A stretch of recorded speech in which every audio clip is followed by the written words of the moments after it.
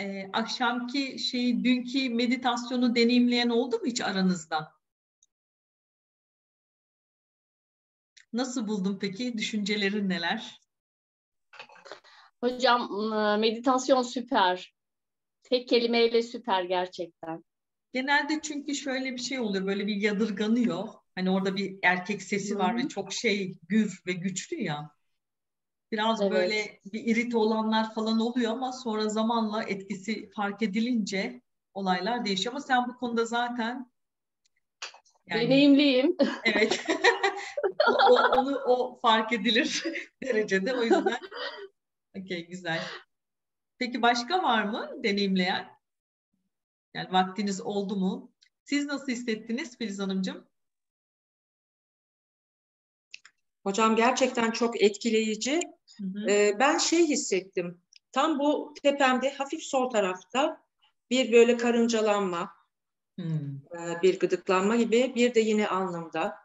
Hı hı. Bir de ellerimde, ellerim dizlerimin üstüne koyduğum şekilde e, bir ağırlık. Yani gitgide ellerimin içi ağırlaştı. Bunları enteresan. Peki şey bunu böyle hani e, bu hisler geldiğinde böyle gözlemliyor musunuz? Yani bedeninizi sürekli gözlemliyor musunuz? Yoksa bu his öyle bir geliyor ki zaten sizi oraya e, yönlendiriyor yani. Öyle evet hocam yönlendiriyor. Yani Hı-hı. o anda o işte e, karıncalanma hissiyle kendime geliyorum. Yoksa gerçekten teta'ya geçebiliyorum. Çok güzel. Şey enerji yani bir enerji e, enerji alanınıza dahil olmaya çalışıyor. Bir şeyler oluyor yani orada. Bir açılım var yani. Öyle. Güzel. Çok güzel. Çok sevindim. Haldun Bey de denediler mi?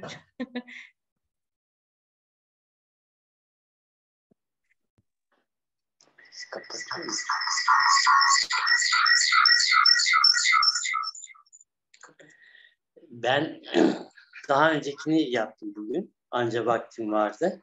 Hı hı. Dün akşamkini yapamadım.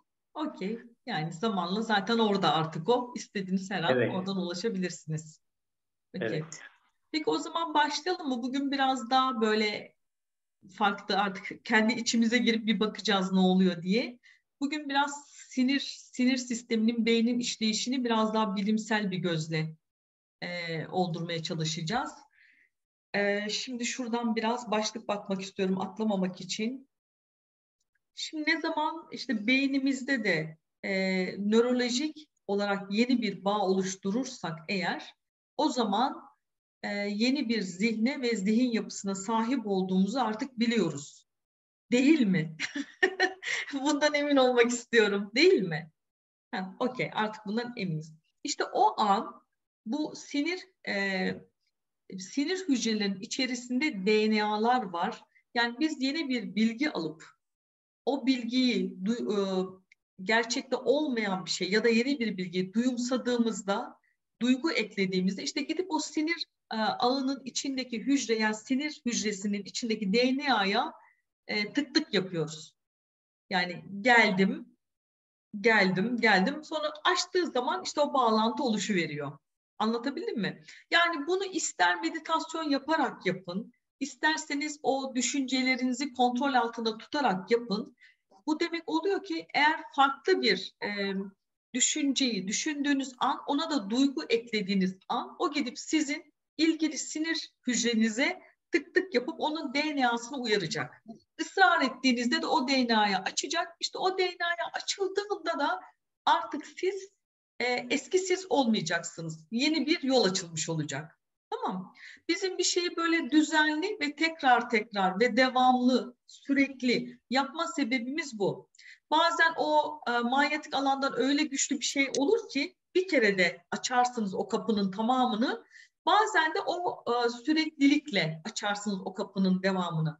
Ama öyle ya da böyle farklı bir bilgi ya da bir durum gider o sinir hücresinin içindeki DNA'yı açar arkadaşlar.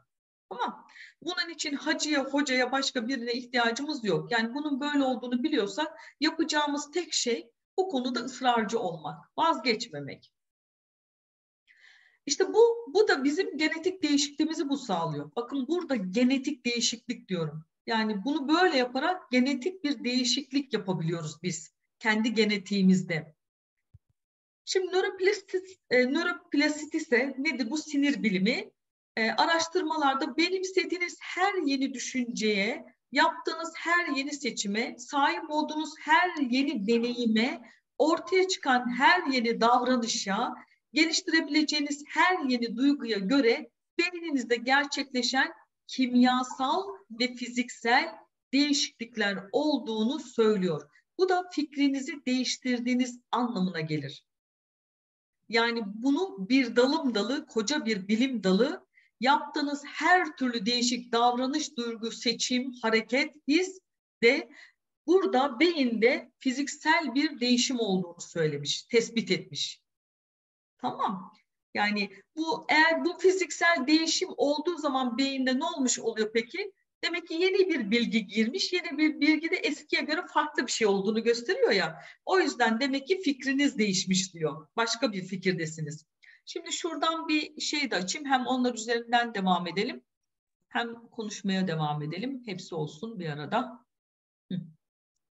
Okey. Şöyle yapalım. Ekranı tam görüyor musunuz şu an? Yoksa sağ, sağda solda mı? Okey düzgün. Tamam. Şimdi yani siz beyninizi değiştirdiğinizde, zihniniz zihninizi değiştirdiğinizde beyniniz değişir. Bunu kaç kişi anladı artık? Herkes anladı değil mi? Yani beynimiz neresiydi? Daha depolanan alan. Zihin neresiydi? Hayatla bağlantımızı sağlayıp radar gibi etrafı kolaçan eden, bilgiyi alan, bilgiyi veren yerdi. Şimdi burası değişirse burada değişiyor. Burada değiştiğinde ne oluyor? Siz artık dünyayı daha başka bir gözle yorumlamaya başlıyorsunuz. Yani eskiden e, çok tahammülsüzseniz e, her şey kötüyse, güvensizse, insanlar nankörse artık burası değiştiğinde onlara daha toleranslı, daha e, merhametli, daha farkındalıklı bakabilme durumuna gelmiş oluyorsunuz. Yani biz saf bilince, saf olma haline girdikçe Yaradan'ı taklit etmeye başlıyoruz arkadaşlar. Tamam. Şimdi e, devam ediyorum. Siz yeni bir bilgi öğrendiğinizde bunu beyninize yerleştiriyorsunuz ve dönüp dönüp bu bilgiyi gözden geçiriyorsunuz. Böylece nörolojik bir donanım kuruyorsunuz. Bunun karşılığı da nörolojik bir donanım. Siz bu bilgiyi ziyaret edip gözden geçirdikçe, bağlantıyı kurup yerleştirdikçe donanım programı yani mevcut olan donanım programınız bir yazılım programına dönüşür. Yani yeniden yazarsınız. Yeniden yazmak demek her şeyi yeniden yazmak demek. Hmm, evet. Bu bilgiyi bolca pratik ettiğiniz için otomatik bir yazılım programı haline gelir sonrasında da. Yani bilinçaltı, yani bilinçsiz bilinç. Her an artık siz osunuz yani. Yani kişilik, kişisel gerçekliğiniz artık o olur. Varlığınız o olur. Yani siz o olursunuz. Gidip bir yerde olumlama yapmak, temizlenmek, şey yapmanıza gerek kalmaz. Artık siz zaten o olmuşsunuzdur. Biz buna nörolojik ağlar diyoruz. Nörolojik ağlar nörosinaptik bağlantılar topluluğu oluşturmak için birlikte harekete geçen ve bağlanan nöron gruplarıdır. Şimdi şuraya bakalım. Burada demişiz ki mesela beynimiz nöron denilen 100 milyar sinir hücresinden oluşuyor. Yani beyinde 100 milyar civarında sinir hücresi var. Daha ne kadar nöron olduğu değil. Hücre bu. Buna, buna sinaps denir. Aslında sinaps bu e, nöronların birbirini bir arada tutan bir bağlantının adıdır. Ne kadar çok tekrar o kadar kod anlamına geliyor. Yani neyi tekrarlıyorsunuz onu oraya yazıyorsunuz. Aynı bir bilgisayar programı gibi. Şimdi buradan şuna geçelim.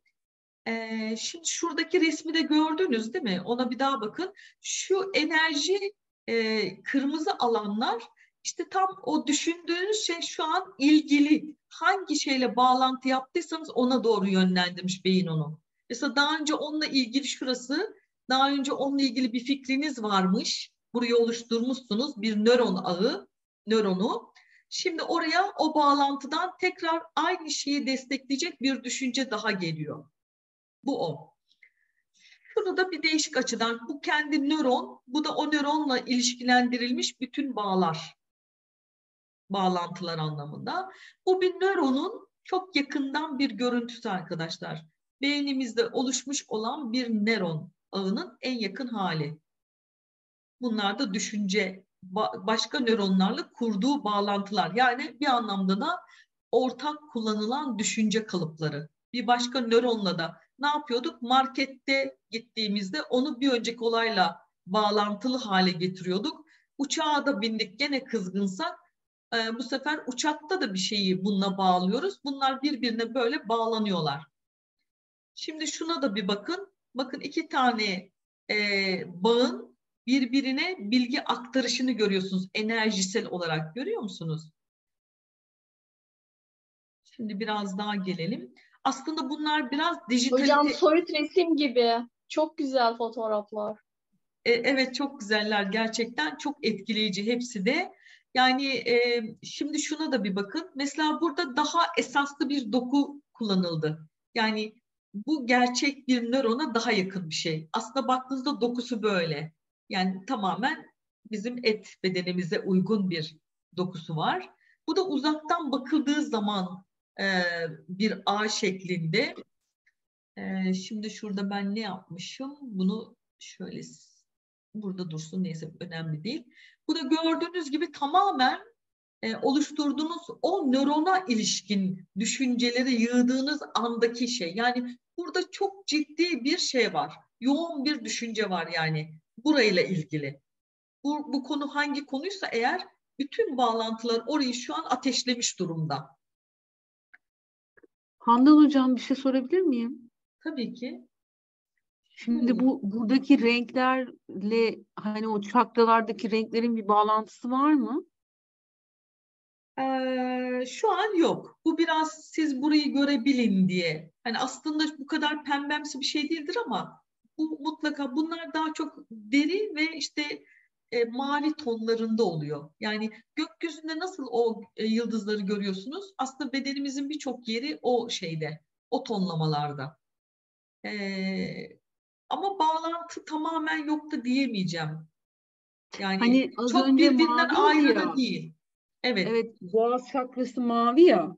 Şimdi ben de ifade, ifadeye dönüşmüş hali. Acaba dedim oradan mı bağlantı yani şimdi bunlar Somut direkt onu temsil etmiyor. Olabilir. Şimdi yarın onlara da biraz bakacağız. O zaman fikriniz biraz daha netleşebilir. Şunu biraz sizin için oynatmak istiyorum. O akımı hmm. görün diye. Şu an görüyorsunuz ne kadar yoğun bir şekilde bir düşünce var. Ve bütün onunla bağlantılı olan her şeyi tetikliyor.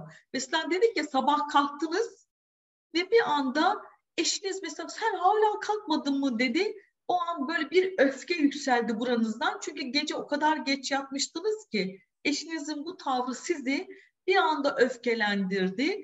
Siz bu öfkeyi yaşarken peki ne oldu? Bütün o öfkeyle bağlantı kurdunuz o zamana kadar her şeye de aynı şeyi gönderdiniz.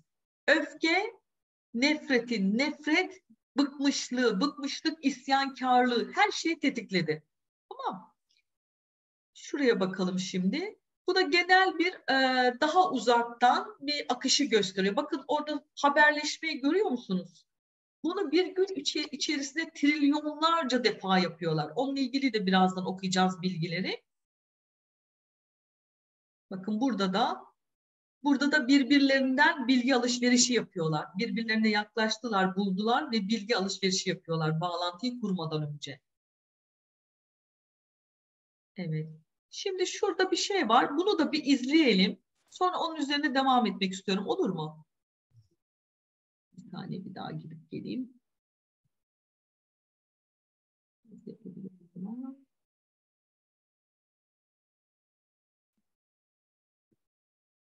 Bunu dışarıda açayım. Bir saniye arkadaşlar.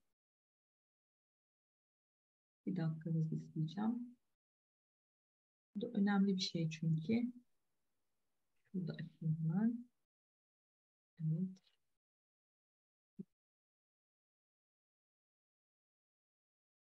Ne? Şu an görüyor musunuz? Evet. Ha, açılmadı. bebeği? Bebek size göründü mü arkadaşlar? Hayır. Bir dakika o zaman. Ben önce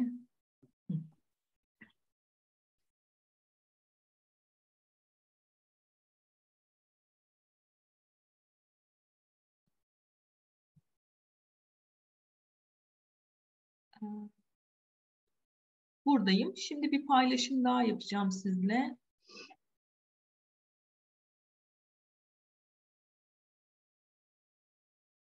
Yapabilirim ikincisini. Bunu bir durdurayım. Sonra evet. Şimdi bunu da tam ekran yapalım. Şimdi gördünüz değil mi? Evet hocam. Tamam. Şimdi bir bunu izleyelim beraber.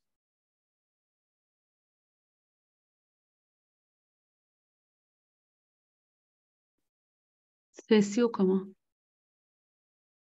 Gelmiyor mu sesi? Hayır hocam. Tamam ses çok önemli mi? Bakayım ses nereden açabilirim? Şu an bütün sesi bu arkadaşlar.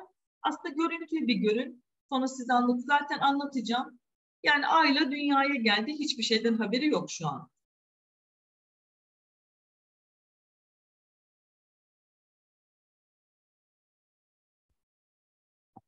Baktığında annesini görüyor ve o ilk bakışta anne ile arasındaki güç katlanıyor. Bu ilk gördüğü görsel fiziksel olarak da beyin yapısını anında değiştiriyor bebeğin. Yani orada demek ki bir kod var. O ilk bakışta gördüğü şeyle beyin başka bir boyuta geçiyor. Bu Ayla'nın beyni. Bu doğum anı. Evet doğdu. Annesinin suratını gördü ve beyin çalışmaya baş, bağlantı kurmaya başladı o surattan. 100 milyar nöronla doğdu. Yani tefekkür gibi hocam ya. Gerçekten muazzam. Bakın şurasını gördünüz mü? Bu nöronlar birbirlerine sinapslarla bağlanmaya başladılar diyor. Şimdi annenin suratını gördü ya.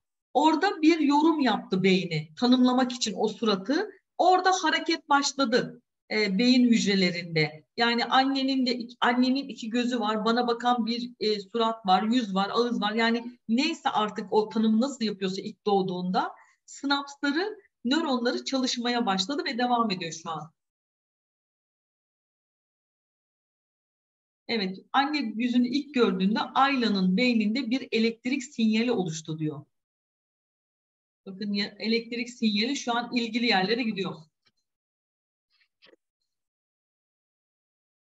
Evet, bu e, oluşan e, elektrik milyarlarca sinapstan geçerek annesinin yüzüne özgü bir e, oluşum yarattılar onun beyninde diyor. Yani ilk onu kim gördüyse onu tanımlıyor beyni kafasında. Onunla beraber geçiyor.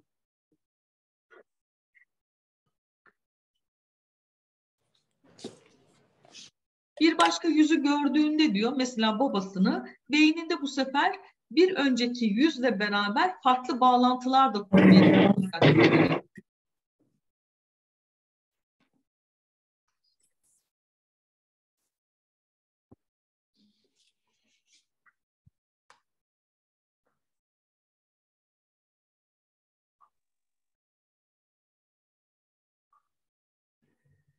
Şu andan itibaren karşılaştığı her insanla Ayla'nın beyni gelişecek diyor ve yeni yollar oluşturacak.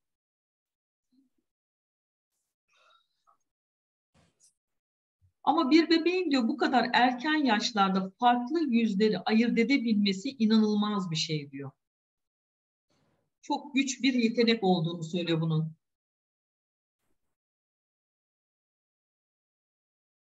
Yani yaratılıştan gelen bir şey var, e, donanım var gördüğünüz gibi. Onun üzerine birçok şey tanınıyor. Şimdi biz buradan çıkalım. Evet. Tamam. Şimdi bir önceki paylaşımı ben tekrar açayım. Oradan devam edelim konumuza. Evet. Şimdi şuna da bir bakalım o zaman. Buna. Şimdi gördüğünüz gibi doğduğu andaki bir bebeğin yani bizlerin doğduğumuz andaki hayal, halimiz. Bakın ilk 6 ayda ne kadar donanım edinmişiz değil mi? Ne kadar çok şey gelmiş bilinç kayıtlarımıza. Ve 2 yaşına geldiğimiz hali görüyor musunuz? Ne kadar fazlalaşmış. Yani tanı, bunlar ne demek? Tanımlar, inançlar, bakış açıları, her şey yani. Şimdi şuna da bir bakabilirsek eğer bu da gerçeği hareketli bir nöron, nöron ağıydı. Ha bu ama çok gerçeği çok şey. Bu tamamen bir mikroskop altında canlı bir beyindeki hareketi incelemiş. Şunu görüyor musunuz arkadaşlar nasıl hareket ediyor? Çok ilginç değil mi? Bakın geldi oradan yukarıdan şuna bir bağlantı yaptı. Biraz ileri Hocam bir şey izleyemiyoruz. Hocam. Görüntü yok hocam görüntü yok. Göremiyoruz. Yok mu görüntü sizde? Yok hocam siz izliyorsunuz. Ha, o zaman bu bir değişik açıldı. Bir saniye. Bir dakika arkadaşlar. Bir saniye. O neden öyle oldu acaba? Şimdi var mı? Şimdi? Evet, evet hocam.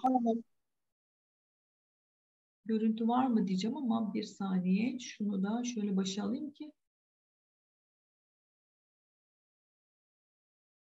Arkadaşlar.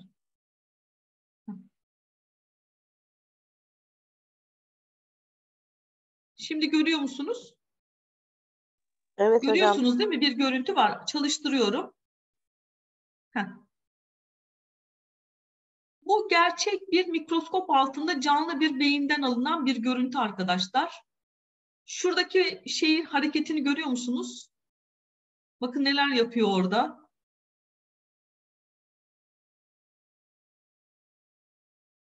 Bakın bunlar da yeni gelen bilgiler.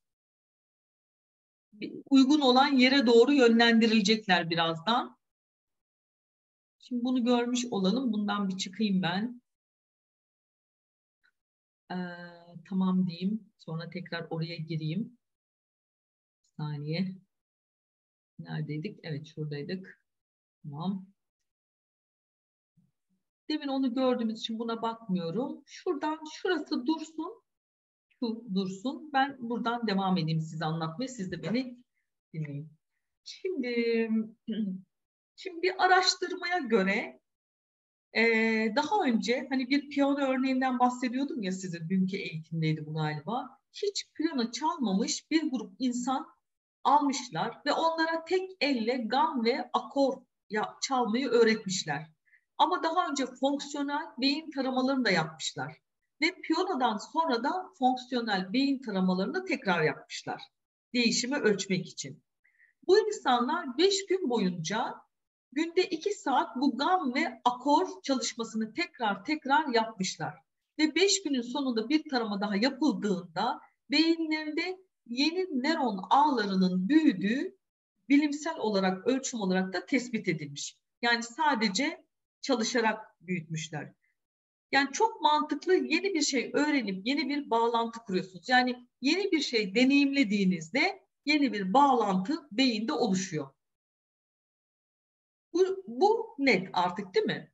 Yani bir bilgi geldiğinde, yeni bir şeyi beyne e, empoze ettiğinde beyin ona göre bir yeni ağ bağlantısı oluşturuyor. Bilgi denilen şey deneyimin ön, öncüsüdür. Çünkü orada olunca biz onu deneyimleriz. Şimdi siz bir bilgi edindiyseniz vücudunuzla işe karışır ve o zaman da yeni bir deneyim edinirsiniz ve deneyim beyni zenginleştirir. Daha çok nöron bağlanır çünkü deneyim daha çok duygu ilavesi demektir. Dikkatinizi yaptığınız şey verirseniz, ona yönelirseniz ve bunu tekrar tekrar yenilerseniz nöronlar harekete geçip bağlanmaya başlar ve dışarıdaki faaliyetlerinizi yansıtan bir nöron demeti oluşturursunuz. Şimdi burada aslında bir taraftan da şunu demek istiyorum. Yeni bir bilgi aldığınızda o nöron ağları illaki oluşuyor. Tekrar ettiğinizde onları daha da güçlendirip stabilize hale, güçlü hale getiriyorsunuz. E bu, bu ne demek? Bu sizin artık yeni bir kişilik edindiğiniz, bir şeyinizi değiştirdiğiniz anlamına geliyor. Tamam bu onun için çok önemli. Onun için böyle hani bir o taraftan anlatmaya çalışıyorum, bir bu taraftan altını çizmeye çalışıyorum. Nedeni bu. Yani bir şeyi istediğimizde aslında biz değiştirebiliyoruz. Nasıl yaptıysak o şekilde de değiştirebiliyoruz. Fakat başka bir grup insana gözlerini kapatıp gam ve akortları zihinlerinde prova ettirirseniz beş günün sonunda zihinlerinde çalışan e, sadece zihinlerinde gam ve akort, piyano akortu yapan bu insanların beyindeki devrelerin de sanki gam ve e, akorları gerçekte çalışmış gibi geliştiğini görürsünüz diyor. Başka bir deyişle gerçekten odaklandığınızda beyin dışarıda olup bitenler ile içeride olup bitenler arasındaki farkı bilmez. Yani kelimenin tam anlamıyla düşüncenin deneyim olduğuna inanır. Okey miyiz? Şimdi artık çok net miyiz arkadaşlar? Ha bunu Hocam, dışarıda şey... deneyimlemişiz, ha bunu bunun olacağını bilerek o duyguya girmişiz. İkisi de aynı şeyi yaratıyor beyinde. Şimdi insanlar parmaklarını oynatmadan beş gündür resmen piyano çalıyormuş gibi görünürler. Başka deyişle bu deneyim gerçekten olmuş gibi görünür. Bu da şu soruyu getiriyor. Sizler bütün gün zihninizden neyin provosunu, provosunu yapıyorsunuz acaba? Şimdi bunu kendinize bir sorun. Yani bu madem bu kadar e, net bir gerçeklik, o zaman bizler bütün gün zihnimizde nelerin provosunu yapıyoruz? Evet. Zihinsel çalışmalar düşünce gücü beyni değiştirebilir. Tamam. Nöroplastisite bunu kabul ediyorum ama bedeni nasıl değiştiriyor diye sorarsanız eğer demiş Doktor Joe. Şimdi bir deney için bir grup insanı seçmişler ve onlara dört hafta boyunca günde bir saat olmak üzere yay çektirmişler. Yani bildiğiniz spor yayı. Başka bir grup daha seçip onlara da bu yay çekme işini zihinlerinde canlandırmalarını söylemişler. Dört hafta ve tek yaptıkları hayallerinde canlandırıp daha sıkı çek, daha güçlü demekmiş. Bunu defalarca tekrarlamışlar ve deneyim sonunda yay çekenlerin kasları yüzde otuz oranında güçlenmiş. Gayet mantıklı değil mi? Bir kasa yük bindirirsiniz, bir hareket dizisi yaptırırsınız, direnç gösterir. Sonra kas lifleri yırtılır ve gelişmeye başlar. Bu genetik bir değişimdir. Diril, e, dinliyor musunuz? Sistem budur diyor. Bu arada yayı zihinlerinde çeken diğer grupsa 4 haftanın sonunda %22'lik bir kas gelişmesi göstermiş. Ama bu insanlar parmak bile oynatmamışlar. Başka deyişle onların vücudu bu olayı gerçekte yaşamadığı halde deneyimlemiş gibi görünüyormuş. Dört hafta boyunca egzersiz yap, yapmışlar gibi vücutlarına fiziksel değişim olmuş. Bakın fizikleri değişmiş. Onların da kasları yırtılmış ve güçlenmeye başlamış. Onların da vücudu gelecekten bir şey deneyimlemiş. Çünkü bunu istiyordu ama onu şimdi yarattı. O halde vücut ve beyin sırf düşünce yoluyla gerçekte yaşamış gibi fiziksel değişimler gösterdiyse demek ki bu deneyim cidden yaşanmış. Değil mi? Yani bu değişim olduysa o zaman ne diyebiliriz? Demek ki bunu biz gerçekten yaşadık o deneyimi. Oldu yani bu. Bu deneyim var oldu yani. Çünkü enerjisi varsa o da var demek zaten. O halde zihinsel prova süreci o ge- gelecekte yaşadığınız, yapacağınız seçimleri hayal ettiğiniz, zihninizde canlandırdığınız bir süreçtir. Şimdi nöron sinir sisteminin en basit fonksiyonel birimidir nöron. Nöron neydi arkadaşlar? Şuradan onu en yakından görelim tekrar. Nöron bu. Tamam şu nöron. Bilgiyi birbirlerine iletme ve depolama konusunda çok yeteneklidirler. Bu sistemle, bu bağlantılarla bunu yapıyorlar. Şurada daha karışık bir şeyi görebilirsiniz. Şurada onun daha e, orijinale yakın halini görebilirsiniz. Şurada o bağlantılar ki bunlar seyreltilmiş bağlantılar. Asıl görüntüsü çok daha enteresan. Böyle bir şey de koysaymışım iyi olurmuş ama tamam. Bu neokortikal bir nörondur ve düşünen beyninizdedir. Nöron başına 10 bin ile 40 bin yani burada biz tane görüyoruz ama aslında görülemeyecek kadar büyük bir ağ var bunların etrafında. Çünkü bir nöron 10 bin ile 40 bin arasında bir bağlantı yapabilme yeteneğine sahip. Kum tanesi büyüklüğünde gri maddeden bir kepçe alsanız 1 milyardan fazla bağlantısı olan 100 bin nörona denk gelir. Yani yara ve yaratılışı da o kadar ince ve naif bir şey ki bunun bir kepçe alsanız rakam bu yani. Bir milyardan fazla bağlantısı olan 100 bin tane nöronu o kepçeye almış oluyorsunuz. Bu nöronlar iki boyutlu değil aslında üç boyutlular. Yani biz burada iki boyutlu gibi algılıyoruz ama aslında haberleşme yetenekleri bunların üç boyutlu. Ee, her yönden iletişim kurabilme kabiliyetleri var. Bu da gri maddenin fonksiyonudur ve bir nöron başka bir nöronla bağlantısı her yerde bilgi alışverişinde bulunur. Bakın bu gri madde ne biliyor musunuz?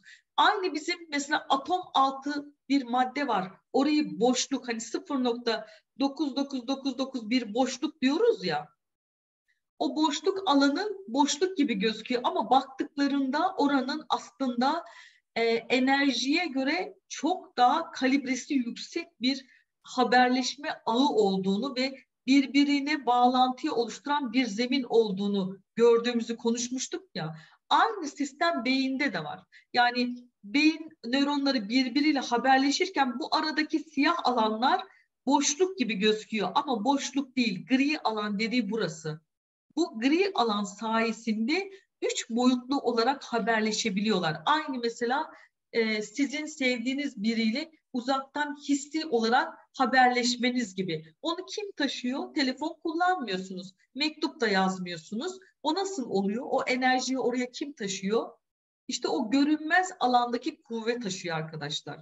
Çünkü evrende boşluk yoktur. Boşluk alanı yoktur. Her yer doludur. Boşalan her yer doludur arkadaşlar. Ee, mesela bugün bir şey öğrendiyseniz diyor, beyniniz bir yeni bir sinaptik bağlantı oluşturdu. Yani bunu yaptı. Şu anda bunu yapıyoruz hep beraber zaten. Yeni bir şey öğrendiğinizde beyninizde böyle bir fiziksel değişiklik olur. Ee, bu nöron başka bir nöron ile bağlantı kuruyor. Parçaların toplamı bütünden daha fazladır. Yani bu felsefik bir şey ama doğrudur. Parçaların toplamı bütün gözükenden tabii ki daha fazladır. Çünkü detaya indikçe e, kalem çoğalır, detay çoğalır, rakam çoğalır, söz çoğalır, his çoğalır.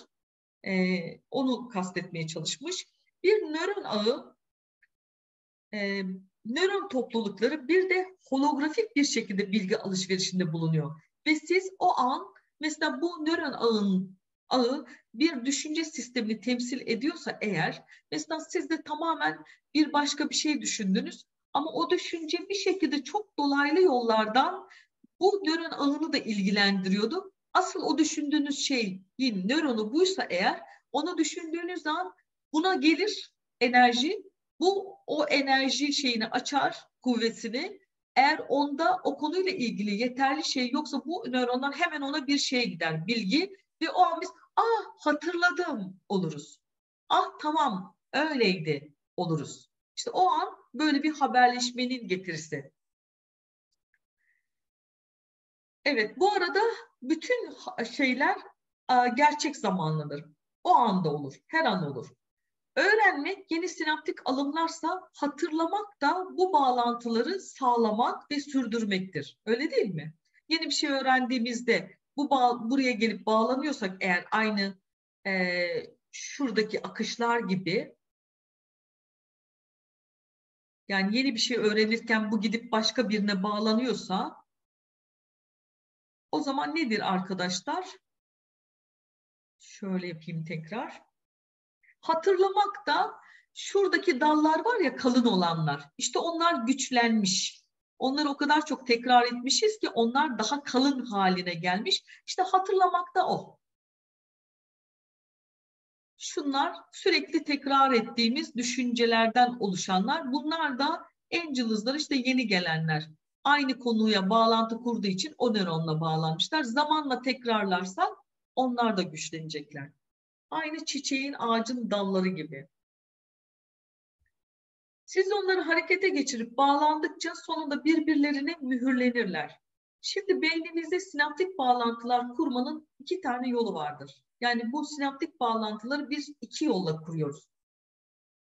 Biri semantik dediğimiz teori, bilgi, felsefe, çalışıp öğrenmek, yani bir şeyleri öğrenmek. Diğeri de öyküsel bellek dediğimiz yeni olaylar yaşamak, yeni deneyimler benimsemek. Yani okuyoruz, öğreniyoruz, alıyoruz bilgiyi ya da işte deneyimleyerek e, beynimizi geliştiriyoruz. Yeni sinaptik bağlantılar kuruyoruz. Nörobilimde de bir prensip vardır. Bunu defalarca konuştuk ama bu prensip çok önemlidir. Birlikte ateşlenen nöronlar birbirine bağlanır. Yani kuvvetlenir.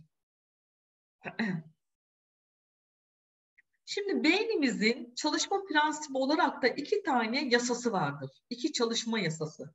İlk yasası çağrışım yasasıdır arkadaşlar. Şimdi biraz burada yüzünüze bakayım. O yüzden şuradan bir çıkayım. Heh. Evet. İki tane yasası vardır. Bunlardan bir tanesi çağrışım yasasıdır. Burada bir tane örneği var. Onu atlamadan size aktarmak istiyorum.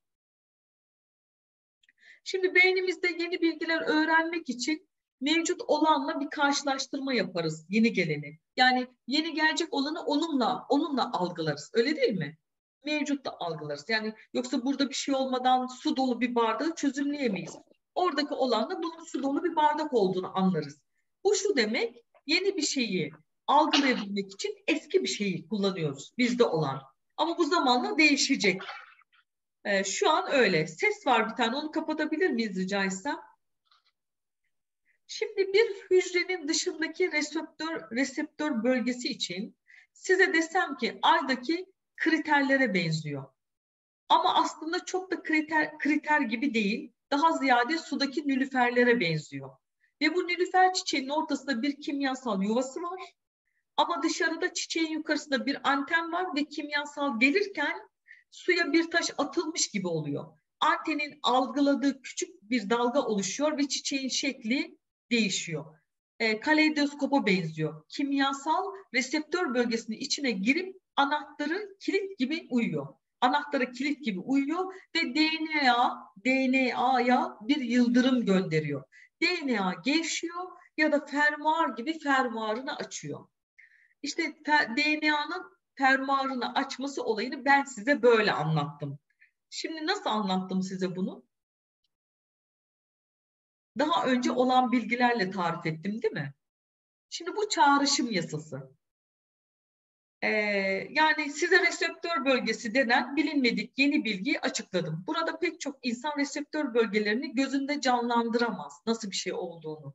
Peki bu modeli nasıl açıklayacağız? Beyninizde depolanları kullanarak. Ne demiştik? Aydaki krater, çiçek, anten, suya atılan taş, kolesto, e, kaleidoskop, kilit anahtar, yıldırım fermuar dedik. Bu arada kaleidoskop çiçek dürbünü demek. Şimdi bunu size böyle açıkladık. Bu çağrışım yasası. İşte beyin, bakın şimdi ben bunları size söylerken yeni bir nöron gitti ne yaptı? Burada neyi kullandık? Aydaki krater. Aydaki krater nöronu oluşmuş mu ya daha önceden? Var çünkü onu o yüzden size öyle ifade ediyorum. O nörona gidip kaleidoskop ona bağlandı. DNA da ona bağlandı. DNA'nın fermuarın açılma olayı da ona bağlandı. Yani benim size anlatmak istediğim her şey oradaki her şeyle bağlantı kurdu. Anladınız mı? Anladınız mı? Bunu kaç kişi anladı? kaç kişi? Anladınız gerçekten. Vallahi çok memnun oldum. Peki birisi bize anlatabilir mi? Hem bir daha böyle bir şey olalım. Ee, ikna olalım. Kim anlatmak ister? Hayır hayır önünüze bakmayın lütfen. Kim anlatmak istiyor? Yasemin anlatmak ister misin? Hayır dedi. Ama demin elini gördüm mü ben senin? Hayır, okey. Tamam. Ayşe Hanım anlatmak ister misiniz? Ayşe Zerman. Ben, benim hocam. Hocam ben evet. biraz e, parsel bulutlu dinledim çünkü e, iğne falan yaptım eşime ama anladığım kadarıyla şu. Evet. E, hangi e, şeyi e, çok tekrarladığımız şeylerde damarlar kalın olunca e, beyindeki e, nöronlar kalınlaşıyor. Evet. Bir de e, şunu anladım. E, bir şey çok tekrarladıkça o orada düğüm haline geliyor. Sanki beyin onu e, şey yapmış gibi e, algılıyor. Nedir adı? Bir e, tamam, şeye siz bağlı. daha böyle konsantre olduğunuz bir anda tekrar Kusura bakmayın hocam. Yo, estağfurullah problem değil. Bir şey bile gelse o fayda yani. Siz döner onu kuvvetlendirirsiniz. Kolay Sağ gelsin. Olun. Rica ederim. Sağ olun. Ee, Anlatabilir miyim yankı yasasından anladığımı?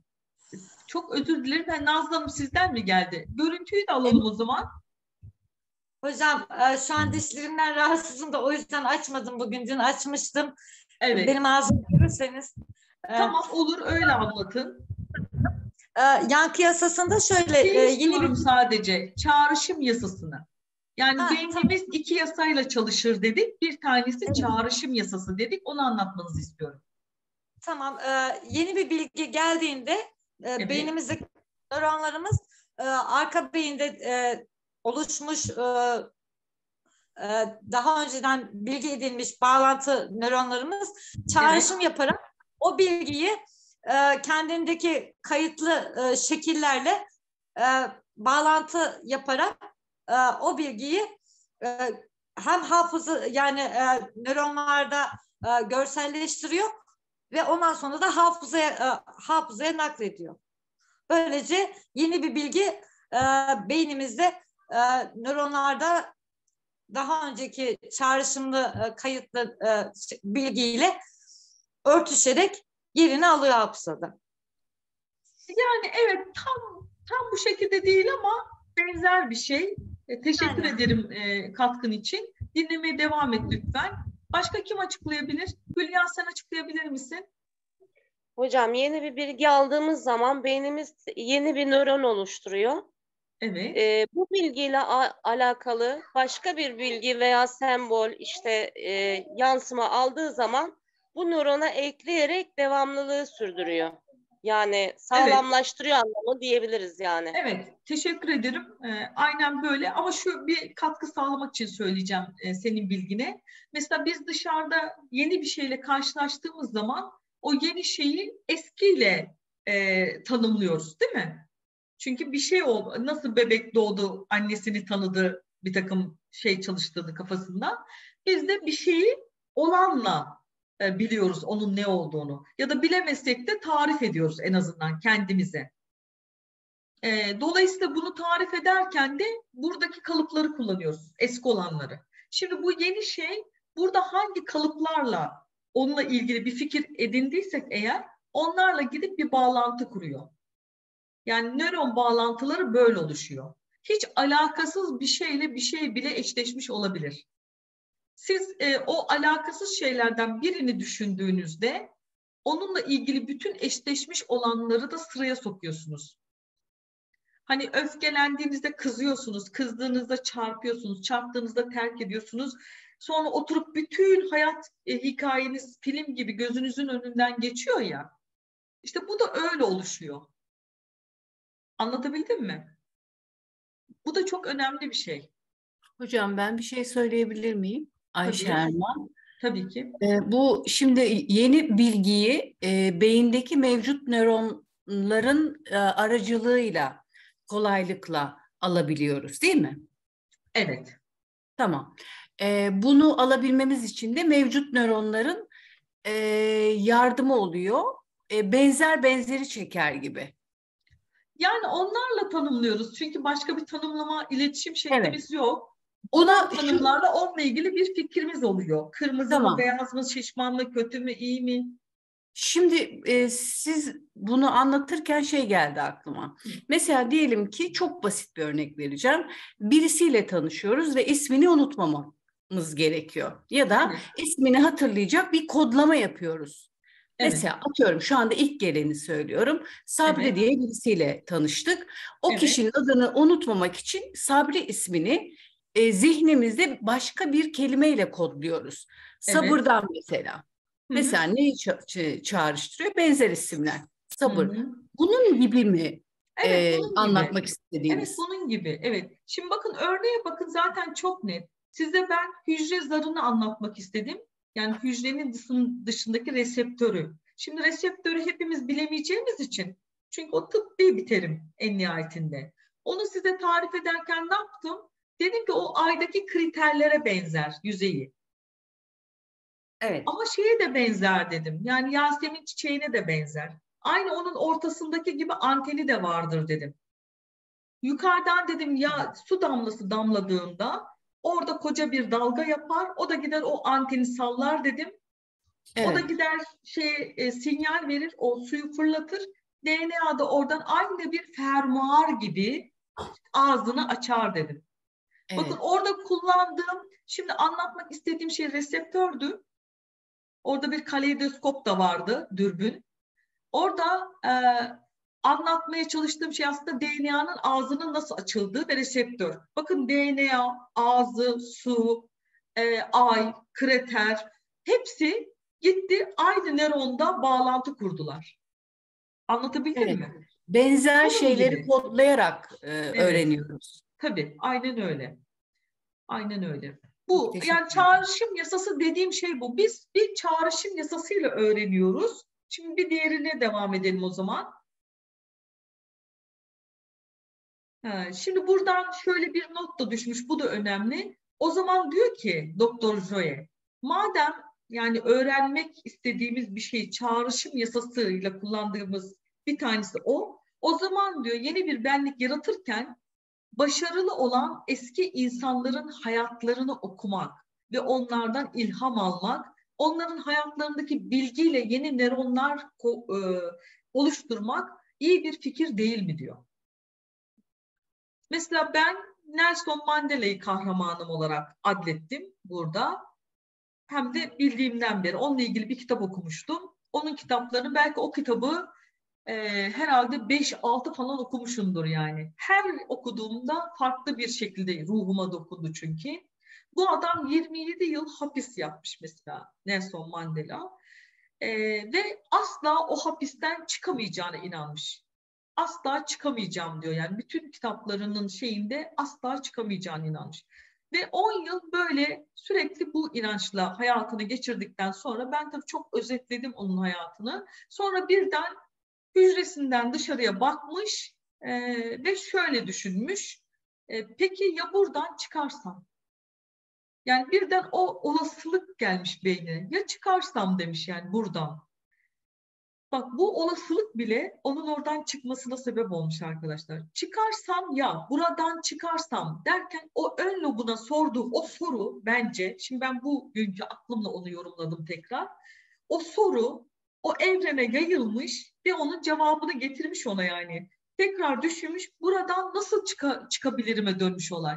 Aynen, aynen öyle. Yani o soru bu sefer beyni gelişmiş o soruyla ve bu sefer nasıl çıkabilirimi sormaya başlamış. E buradan nasıl çık? Kutunun dışında düşünüyor çünkü artık şu zihin 10 senedir o kutu gibi düşündüğü şura var ya sabit. Onun dışında düşünmeye başlamış çünkü. Ee, bir mektup yazmış Birleşik Devletlere. Ee, yani haftalarca belki e, haftalarca hatta aylarca sonra Birleşmiş Devlet ama ısrarla yazmış. Böyle defalarca yazmış vazgeçmeden ve en sonunda bir cevap gelmiş. Yazdığı mektuplardan etkilenmişler. Evet. Şimdi bu mektup geldiğinde e, bu sefer şöyle bir şey geçmiş aklından Mandela'nın bu ulusu, bu devleti hani bu kadar zaman geçti, geç cevap verdiler falan falan. İşte bu ulusu kim yönetecek? Yani kim daha başarılı yönetir diye de düşünmeye başlamış bir taraftan. Ve işte sonra bu soru gelmiş. Ya ben yönetirsem nasıl yönetirdim? Aynen bunları sadece bakın düşüncesinde yaşıyor. Hiçbir arkadaşı ona sen çok güçlüsün, sen yapabilirsin, sen edebilirsin demiyor. Kendi samimi, gerçek, işten sorularıyla sürekli evrana bir mesaj gönderiyor. Evren de onun bilincini o noktaya çekiyor. Tamam. Sonra ve o e, o da en temel ve önemli sormuş. Onu kazandıran şey budur. Yani peki ya sen ben yönetirsem sorusu. Bu ulusta liderlik etmek için nasıl biri olmalıyım sormuş arkasından. Peki ben nasıl biri olmalıyım ki madem öyle ben yöneteceğim burayı diye olan soruyu sormuş ve mücadeleye başlamış sonrasında. Öfke, düşmanlık ve ön yargı gibi temel duyguları alıp onları altına çevirmiş. Hakikaten hayatında hiç böyle bir şey yok. O adamın içinde bir gram kötülük bile yok. Hep samimi, hep içten. Dış ortamını alt etmiş ve bir ulusa da en sonunda liderlik etmiş. Onun zorlukların üstesinden gelmesi belki bizlere de aynı kapının yollarını açar. Bence kesinlikle böyle. Şimdi genelde böyle kişisel gelişim konularında hep böyle çok üstte insanların e, adları geçirilir ve orada hani ilk akla gelen algıya ya ben o kadar olamam. Yani yani o bir Atatürk'müş yani. Ben nasıl şimdi Atatürk olayım değil mi? Yani çok büyük bir ruhmuş yani falan deyip hani olamayacağına orada bir kanaat getiririz insan olarak. Bu bende de böyleydi. Ama sonra işte neye inanırsan onu yarattığın e, doğrusunu alıp e, iman ettiğimde onun öyle olmadığını anladım. Yani hani şu var ya bir şey için hep çalışıyoruz, hep çalışıyoruz. Oysa bu tarafı geliştirsek gene çalışmaya devam edeceğiz ama e, o istediğimiz şeyin kapıları kendiliğinden açılacak. O insanlar kendiliğinden bizim hayatımıza girecekler. Yani mücadelemiz bu olmayacak. Bu üç boyutlu dünyanın o çukuruna düşmeden olacak. Düşüp yorulup aldanmayacağız yani. Hocam bir şey sorabilir miyim? Hocam. Okuduğunu yani tanıyorsunuz. İyi bildiğinizi e, düşünerek Pardon, soracağım. Pardon kimi? O arada başka bir şey oldu. Nelson Mandela. Mandela. Evet. E, şimdi onun e, hapse girmeden önceki akademik kariyeri nedir acaba? Normal bir vatandaş mıdır? Aslında şöyle normal bir vatandaşa yakın. Hani okulların adını düşündüm o anda ama yani e, benim algıladığım kadarıyla lise boyutunda falan. Yani, bir yani böyle bir gibi, akademik bir şey yok. Hocam avukatmış ama Atatürk... çok hocam, okuyan bir insan. Hocam avukatmış hapse girmeden önce. Doğru mu acaba? Avukat mıymış? Evet. Bak bunu bilmiyorum mesela. Eşime sordum da o böyle kült, genel kültürü çok yüksek. Bak avukatmış. Mesela ben de o taraflarına dikkat etmem hiç. Avukatmış. Yani ben e, şey diye algılamıştım. Hani çok iyi bir insan olmak, bir kariyer olmadan bir devleti yönetmek için yeter mi? O soruyu. Ya yeter. Ama bu bir istisna gerektiren bir şey. Genel gider de yetmez. Ama siz bir istisna bir ruhsanız eğer hani gelişmiş vizyonu olan belki sizin eğitiminiz yoktur ama hani aile size öyle bir bakış açısı kazandırmıştı ki vizyon olarak hayat vizyonu yetebilir. Olabilir yani. Mesela benim babamın dedesi hani çok küçük bir köyde hiç hani okul vesaire bilmem nenin olamayacağı bir ortamda yani kalkmış kaymakam olmuş mesela o şartlarda. Şimdi ya ilk, yani ilk kuruluş aşamasında bazı hani e, mesela benim dedem de e, Kurtuluş Savaşı'nda ama e, lise mezunu. Yani hani o birkaç tane lise var ya o liselerden mezun evet. olmuş birisi. Yani böyle evet. birilerini bulabilmek o dönemde Cumhuriyet'in Atatürk'le hatta tanışmış vesaire e, Kurtuluş Savaşı'nda gazilerdendi. Allah rahmet eylesin. Yani öyle birilerinden varsa eğer zaten hani onlar mutlaka bir yerlerde olmaları gerekir. Çünkü okur yazarlığın en düşük seviyede olduğu e, işte bir şeyleri yapabilecek, e, öngörüleri olabilecek, düşünsel yetileri daha fazla olabilecek insanlar belirli yerde olabilmeli ki daha büyük adımlar atabilsinler. Yani daha e, bir hayal olsun, hayalini gerçekleştirsin e, anlamında. Tamam o zaman dönün. Tamam bu böyle. Okey. Haklısınız. E, o, o, o dönemin standartlarından ziyade onlar böyle olabilirler. Mesela İbn Sina'ya bakın, Muhittin Arabi'ye bakın.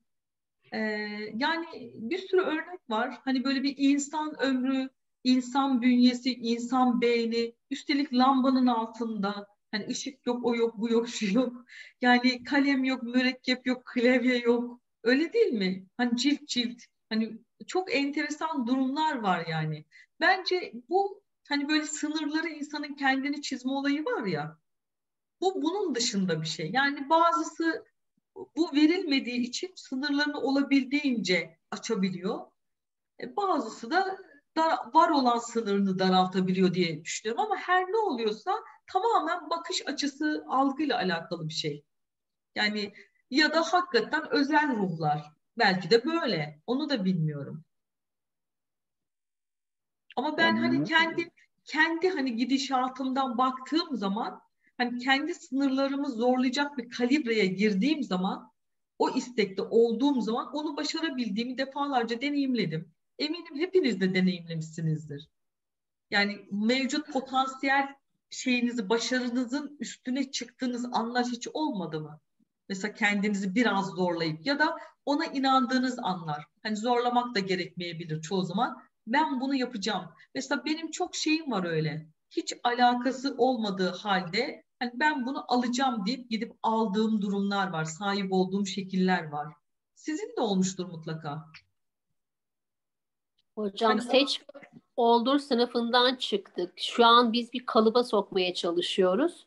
Evet. Halbuki e, herkes gibi düşünen değil, herkesten farklı düşünen, işte bir Mandela herkeste bir şey gibi. de yok. Yani aynen. hani bu artık aynen bizim kendi yolumuz. Yani ben burada neyi aşabilirim kendimle? Ee, yani bu mevzu. Hani nereden geldik biz bu konuya? Mandela'dan, işte bir Atatürk'ten. Hani şeyi söylemeye çalıştım. Hani eski bilinçteyken genelde hep bu örnekler verilir motive etsin diye katılanları. Ama mesela algım şeye giderdi. Ya ben şimdi nasıl olayım? Hani onlar kocaman bir ruhmuş. Onlar hani başkaymış. Ben nasıl olayım? Hani bu, bu zamandan sonra, bu yaştan sonra, bu durumdan sonra diye bir sürü kısıtlayıcı şeyi getirdim aklıma o dönemler.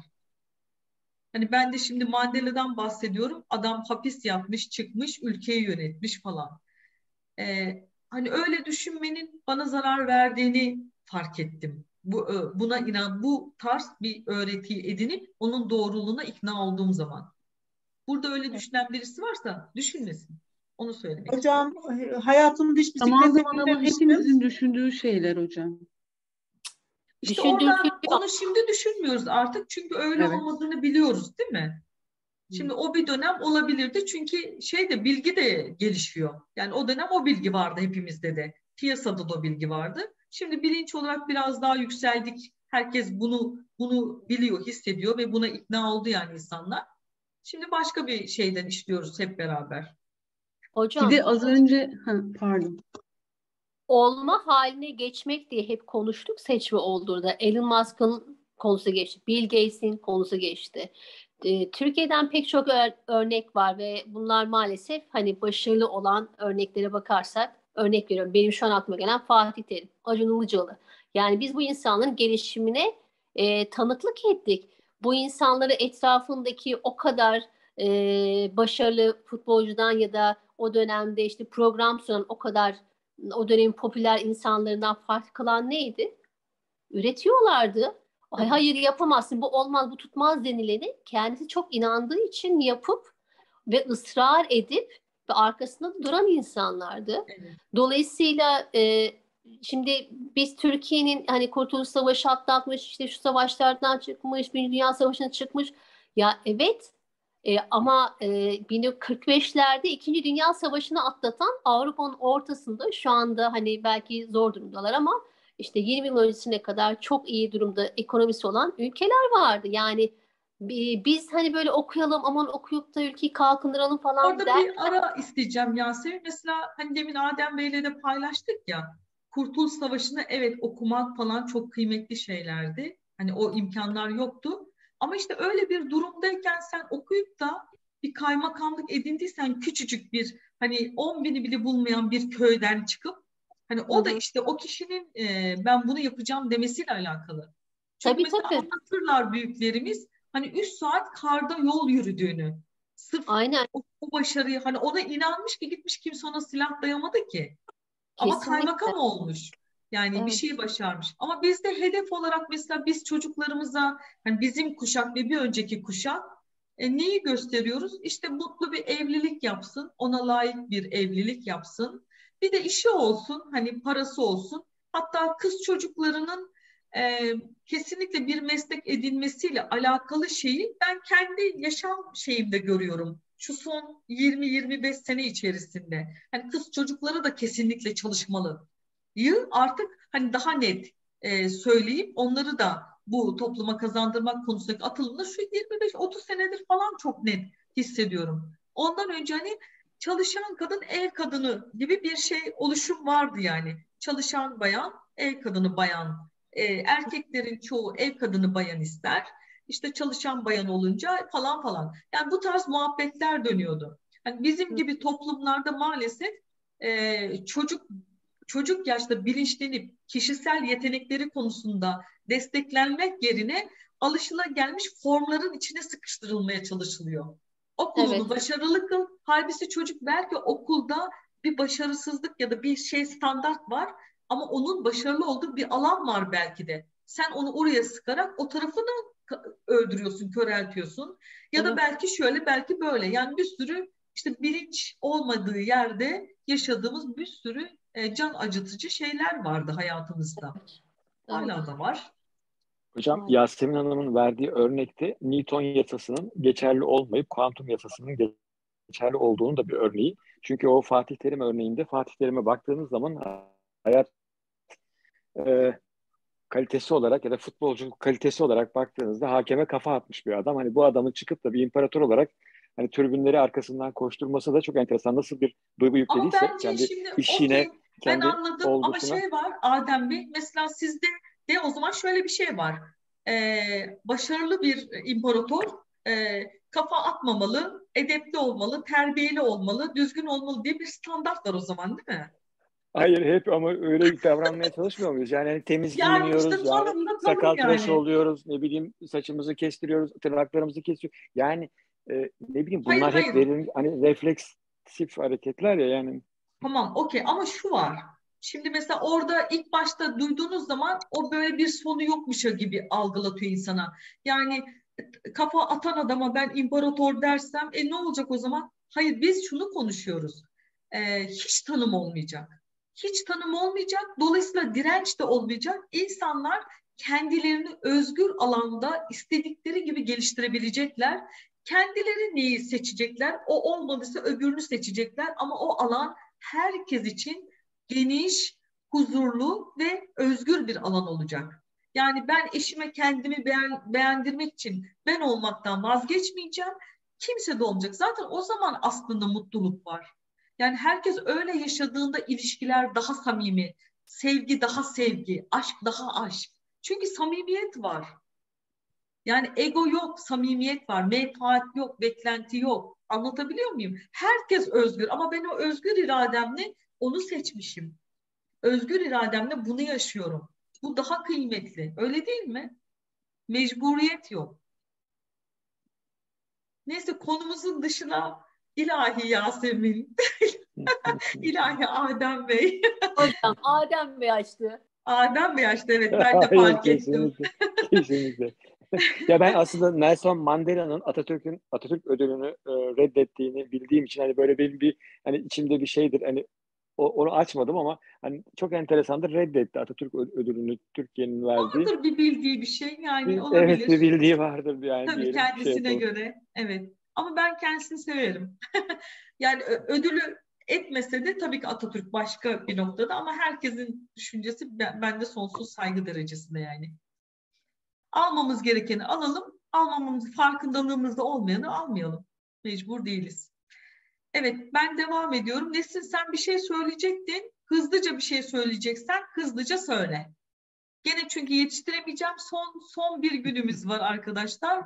Vermezsem e, olmaz. Vermek istiyorum. Evet. Siz devam edin hocam. Bir gün daha geliyoruz hocam ne olacak? İşte benim bir sonraki gün seyahat günüm ya. Aslında onu ben de düşündüm eğer böyle yetiştiremezsem bir gün daha en azından kayıt koyarım diye. Bir 15 gün o seyahatte olacağım. Tamam ben devam edeyim. Sürenin sonunda bakarız. Olur mu? Tamam. Evet. Evet. Şimdi onu tekrar hatırlayalım o zaman. Çağrışım yasası ne diyordu? Yaratmak ve öğrenmek için beyninizde depolananları kullanacaksınız. Alışılmadığı öğrenmek için alışıldığı kullanacaksınız. Yeni anlar yaratmak için eski anıları kullanacaksınız. Bilinmeyenleri anlamak için bilineni kullanacaksınız.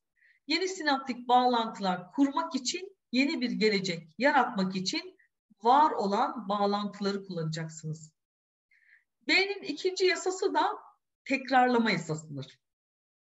Herhangi bir şeyi tekrar tekrar tekrar ettiğimizde bir an gelir nöronlar bir kimyasal salar. Bu mucize büyütücü, bu gübre onların bir arada durmasını sağlar ve böylece daha fazla bağlantı gelişir. Yani o topak gibi olan nöronu hatırlıyorsunuz değil mi? Şimdi o bir uzantı yapıyor ya bir gerçek bir görüntü göstermiştim size biraz önce. O hala varsa eğer tamam küçültmeyeyim. Şöyle yapayım. Hangisiydi acaba o? Hmm.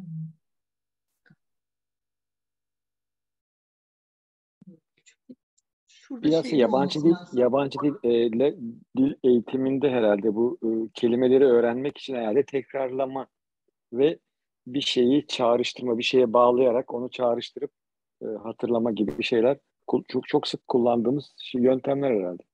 Evet evet aynen öyle ama onun şey mantığı da ne?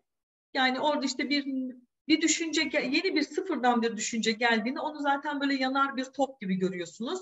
O orada bir oluşum gerçekleştiriyor. Sonra işte bir dal uzatmaya başlıyor. Onun üzerine yeni bilgiler geldikçe aynı bir şey ağacın dalları gibi, filizleri gibi. Yani onu deminki e, çağrışım yasasında olduğu gibi nelerle bağdaştırıyorsanız o da gidiyor onunla bir bağlantı kuruyor. Sonra bir yerde böyle el ele tutuşuyor gibi oluyorlar.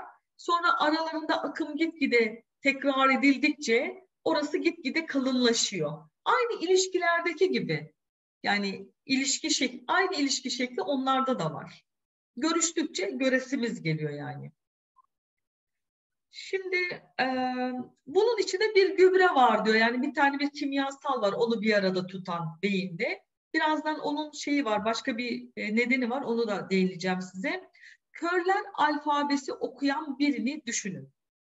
Bütün zihni iki parmağının ucundadır o alfabeyi tararken ve bu alfabeyi oku okuyan kişinin beyin taramasına bakarsanız sizde ve bende bu iki parmağınızın duyu korteksimizde hitap ettiği yer bir santimetre kadardır. Ama körler alfabesini okuyan insanın o iki parmağı yani burada nereyi temsil ediyorsa o alan e, beynin bu kısmının tamamıyla çalıştırır.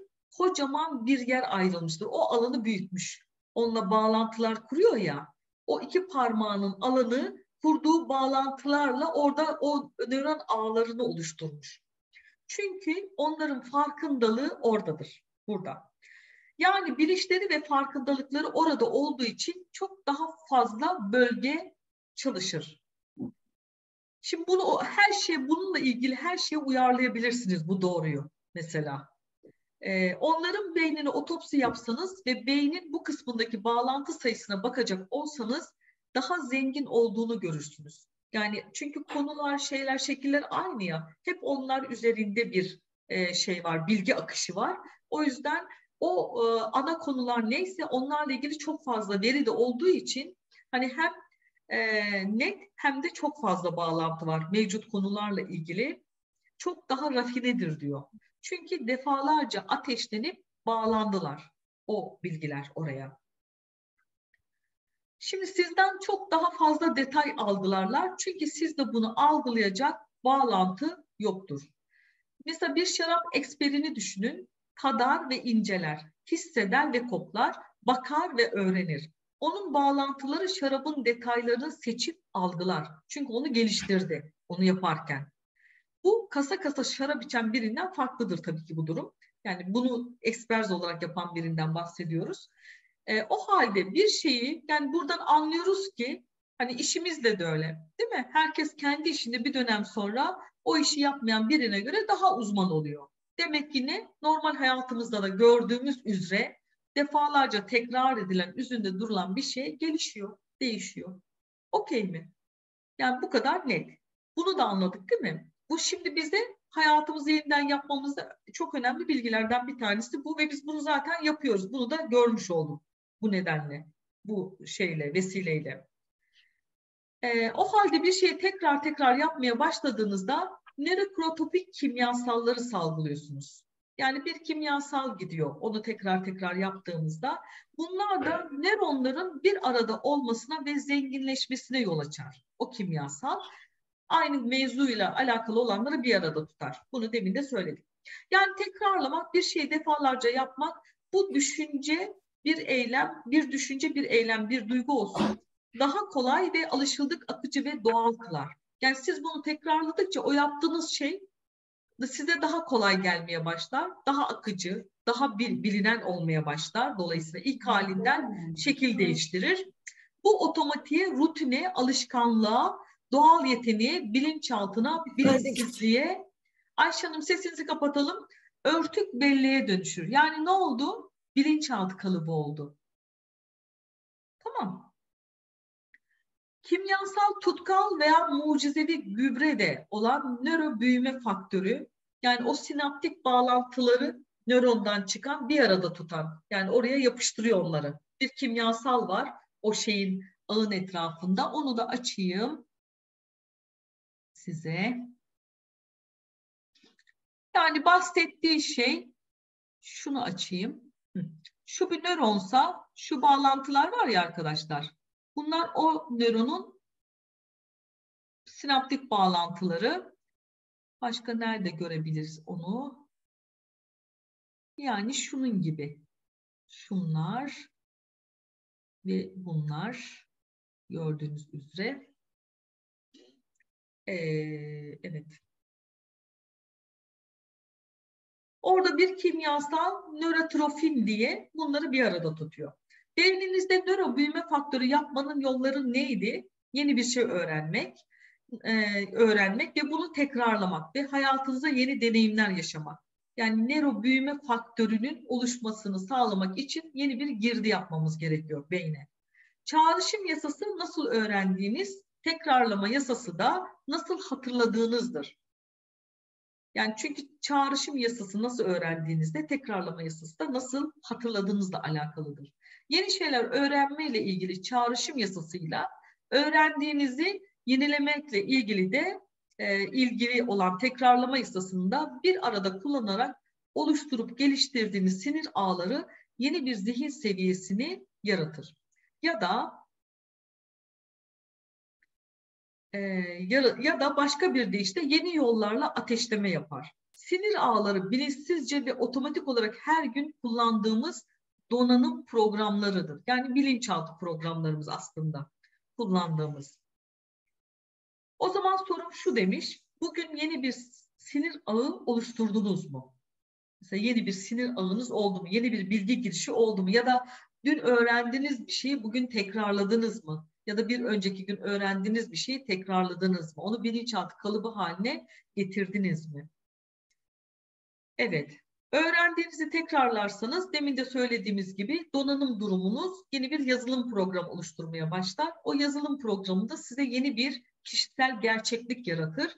O kişisel gerçeklik durumu da sizin yeni çevrenizi oluşturur. Yeni çevrenizdeki insanları, çevrenizdeki ortamı oluşturur. Size aynalık edecek modelleri yeniler.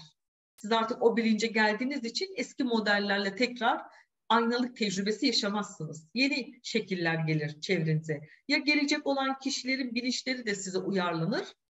Ee, böyle bir şey olur yani hayatınızda. Ya da o tamamen gider, yerine yeni birisi gelir. Evet. Bir gün içinde diyor beyninizde gezegendeki tüm cep telefonlarının toplamından daha fazla elektrik uyarı uyarı sistemi gerçekleşir diyor. Düşünebiliyor musunuz beynin nasıl çalıştığını? Yani bütün cep telefonlarından daha fazla aralarında sinyalleşiyorlar. Siz, sizin beyniniz bilincin süper yöneticisidir. Sürekli bilgi gönderir ve bilgi alır. Yani sinir ağları her gün kullandığımız otomatik donanım programlarıdır. Bir sinir ağındaki nörolojik iletimin ortalama hızı, yaptığı hız 320 ile 480 kilometre arasındadır. Beynin içinde yaptığı hız. Yani biz onu böyle gözle gözlemleyemeyiz bile ama o gerçekleşir. O yüzden de böyle dışarıdan bakıldığında stabil gibi gözükür. Ama detaya indiğinde olayları daha net mercek altında görebiliriz. Şimdi Şimdi yaratıcı merkezimiz bizim ön lob dedik ya arkadaşlar. Neyse yani şu bölge. Yani bizim yarattığımız yerde burası aslında şurası komple. Çünkü bütün sistem biz burada yaratır sonra burada depolarız. Tüm beynin yüzde kırkını kaplar bu e, yaratım alanı. E, yüzde kırkının özgür iradeye sahip olmasını sağlar. Şimdi burası niyetlerimizin de bulunduğu yer aynı zamanda. Şurada zihinden e, bilgi topluyoruz. Burada işte e, ilgili yerlere gidiyor. Burada bir motor bölgesi var. Orada işte gözümüz görüyor, kulağımız duyuyor, onları yönetiyorlar. Yaşamsal fonksiyonlarımız var. Bu onu aşağıya limbik beyne atıyor, duygu üretiyor, aşağıya atıyor. Ya amigdalada ilkel benlik devreye giriyor ya da o kaç savaş şeyini yapan ya da e, direkt e, talamus, hipotalamusta anılar kısmına atılan bir sistem e, yürüyor ve e, orada böbrek bezlerinin işte sinyal gidiyor vesaire vesaire. Böyle bir akış var. E, ilk girdi ama bilgi. Şimdi burası dolayısıyla şu kısım aslında bir patron. Her şeyi o yönetiyor. Orkestra şefi gibi.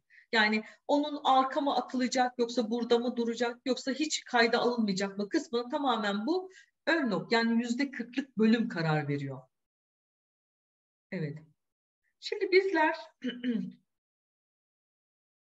evet. evet. Dolayısıyla burası karar verdiği için Doktor J diyor ki yani ma, burada analiz vesaire gerçekleşiyor ve nereye gideceği de belirleniyor ya. E, bizler hatalarımızdan ders alıp bu bölümle bunu düzeltebilme yeteneğine de sahibiz diyor. Yani bu nedenle. Burada onu tespit edip bundan ders çıkarabilecek bir yaratılıştayız dolayısıyla diyor. Yani diğer yaratılmış olan canlılara göre. Şimdi ön lob ses, gürültü gibi herhangi bir yabancı uyarımla dikkatinin dağılmasını istemez. Meditasyona girdiğimiz zaman bu ön lobun neler yaptığıyla ilgili birkaç bir şeyden bahsetmek istemiş burada. Yani biz meditatif duruma geçmeye başladığımızda bu ön lobda inanılmaz bir şey başlar, hareket ve ilk önce herhangi bir şeyle bir uyaranla uyarılmamamız için dikkatimizin dağılmamasını istediği için beynimizde zaman ve mekan işlemlerini yapan devreleri yavaşlatır. Ön lobun düğmesine basılınca motor merkezi de aktive olmaya başlar ve ön lob buradaki devreleri de susturur. Böylece bizler sakinleşiriz, trans haline geçeriz. Duyusal merke merkezimizdeki devreleri susturur ve bedeninizi hissetmezsiniz o zaman. Yani onlar sustuğunda aslında beden yok. Beden ne zaman var? O duyular ya da o beynin o tarafı işlediğinde o beden var. Yani o zaman ne oluruz? Bedeni de hissetmediğimizde hiç kimse oluruz değil mi? Meditasyonda. Zaman ve mekanı işlediğiniz e, pareetol lobu da soğutur ya da ışıkları söndürür. Bunları işleyen zihin yoksa zaman ve mekan da yoktur. Yani zihinde onlar olduğu için zaman ve mekan var. Onlar yokken biz ne oluruz? Zaman ve mekanda da hiçliği yakalarız. Araba sürerken kullandığınız görsel korteksteki devreleri soğutursa bulunduğunuz ortamı mesela göremezsiniz. O yüzden onu öyle yapmaz. Biz biz emir verdiğimizde bunu yapmaya başlar. Biz beden olarak meditasyona geçtik hareketini yaptığımızda o zaten beden dilinden o emri alır ve bu hareketi yapmaya başlar. Hayatta kalma merkezlerindeki devreleri soğutur ve düşüncelerinizin bir deneyim haline geldiği, beynin de bu düşünceyi yükselttiği ortamı hazırlar. Ne dersiniz? Bulunduğunuz ortam yani meditasyon sırasında bu e, karardı, motor sistem durdu, görmemiz gitti, bedenimizi hissetmiyoruz, dışarıyı da hissetmiyoruz. Artık bu ortam yeni bir yaratım için uygun mudur diye soruyor kendisi. Evet bence yeterli uygundur. Belinizdeki ağrıyı da unutmuş olmalısınız diyor. Mesela yaptığınız meditasyonda eğer zihninizi, bedeninizi sürekli gözlemlerken buluyorsanız o zaman e, dışarıda normal e, betadayken olduğunuzdan çok farklı bir şey yapmıyorsunuz demektir meditasyonda. Yani e, bedeni gözlemliyorsanız oram ağrıyor, buram ağrıyor, koluma ne oldu, elimden bu çıktı, e, orama bu geldi diye bir gözlem halindeyseniz meditasyonda henüz yeterince derinleşme, derinleşme sağlanmamış demektir arkadaşlar. Evet.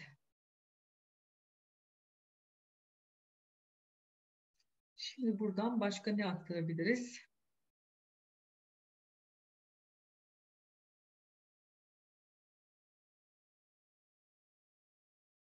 Şimdi burada bir şey daha var bu beyinde arkadaşlar. Burası beni mesela çok etkilemişti.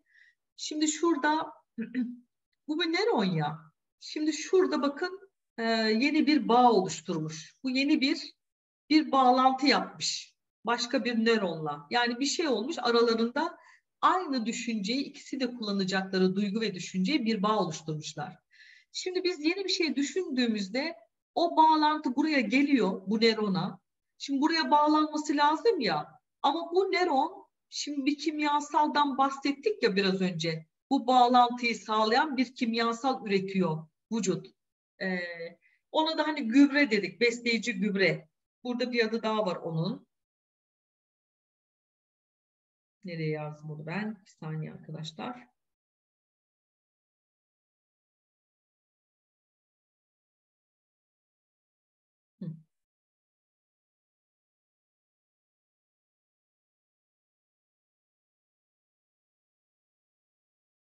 Şuralarda olması lazım ama bulamadım ama şimdilik onun öbür adını kullanayım. Yani bu yapıştırıcı bir gübre. Çok pardon. Biraz önce neo e, yanlış bir şey ifade etmek istemiyorum. Da değil.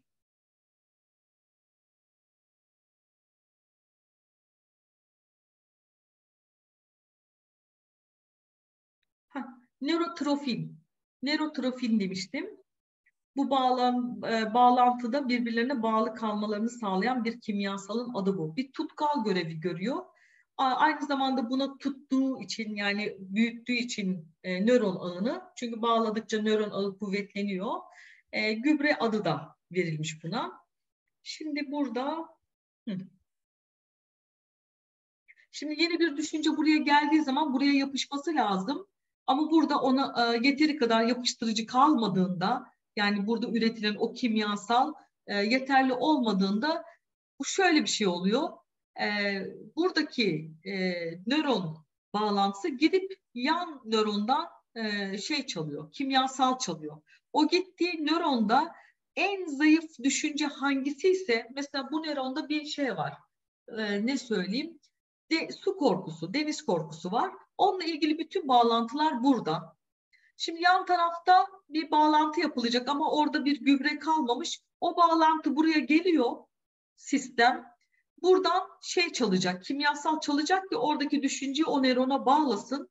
Burada bakıyor mesela siz suyla ilgili, su korkunuzla ilgili o zamana kadar neyi hatırlamıyorsanız yani en e, beslemediğiniz, tekrar tekrar gidip düşünmediğiniz hangi düşünceniz varsa gidip onun gübresini çalıyor. Yapışkanını çalıyor. O bu sefer açıkta kalıyor ya. Aynı bir ağacın dalı gibi beslenemediği için nörondan enerji olarak bu sefer kurumaya başlıyor. Kuruyor ve kopuyor. Yani buna budama deniliyor. Bu şu anlama geliyor. Mesela geçmişte yaşadığınız bir olayı düşünce olarak beslemediğinizde bunu kısmen değinmiştim ama şimdi daha e, yerindeyiz. O düşünce o nörondan kopuyor arkadaşlar. Kuruyor ve yok oluyor. O zaman ne oluyor bu? O artık sizin geçmişinizde kalmış bir şey oluyor. Yani artık siz o değilsiniz. Hani o geçmişte o siz değildiniz oluyorsunuz işte o zaman. Hani bir olay yaşadınız. Mesela üzüntülü bir olay yaşadınız. Ee, şurada yüzünüzü de göreyim. Hı. Üzüntülü bir olay yaşadınız mesela. Henüz taze. Mesela inanılmaz üzülüyorsunuz, kahroluyorsunuz. Ee, ama aradan bir beş sene geçtikten sonra dönüp baktığınızda e, tabii bu taze tutanlar için söylemiyorum da baktığınızda mesela ne kadar anlamsız gelir değil mi? O an yaşadığınız bunalım, sıkıntı. İşte neden? Çünkü gidip gidip onu beslememişsinizdir. Beslenmediği için de o orada zayıflamıştır. Ama onu hiç ziyaret etmezseniz, ettiğinizi fark edip de durdurursanız, yani hiçbir şekilde beslemezseniz onu, o oradan kopar. Onun yerine yeni o konuyla ilgili yeni bir bağlantı gelir, oraya yapışır. O orada büyür. İşte kişisel e, varoluşun değişimi böyle oluyor. O artık sizin eskinizde kaldı. Mesela bu e, Doktor Joy'nin bir sürü e, hastası e, hasta olduğu dönemlerden bahsederken hani onu şöyle tanımladıklarını söylüyor. E, o hastalık gidince, o düşünce de gidince o sanki orada bir şey gibi, bilgelik yani. Onunla ilgili artık bir duygu yok, üzülmüyor, bir his yok. Sadece böyle bir dönemde böyle bir şey evet yaşanmıştı diyor ama hiçbir etkisi yok. Artık o bir bilgelik dediğimi olarak kalmış oluyor kişide. Onu etkilemiyor. Çünkü onun artık kişisel gerçekliği farklı bir noktada. Bu da böyle gelişiyor beyinde.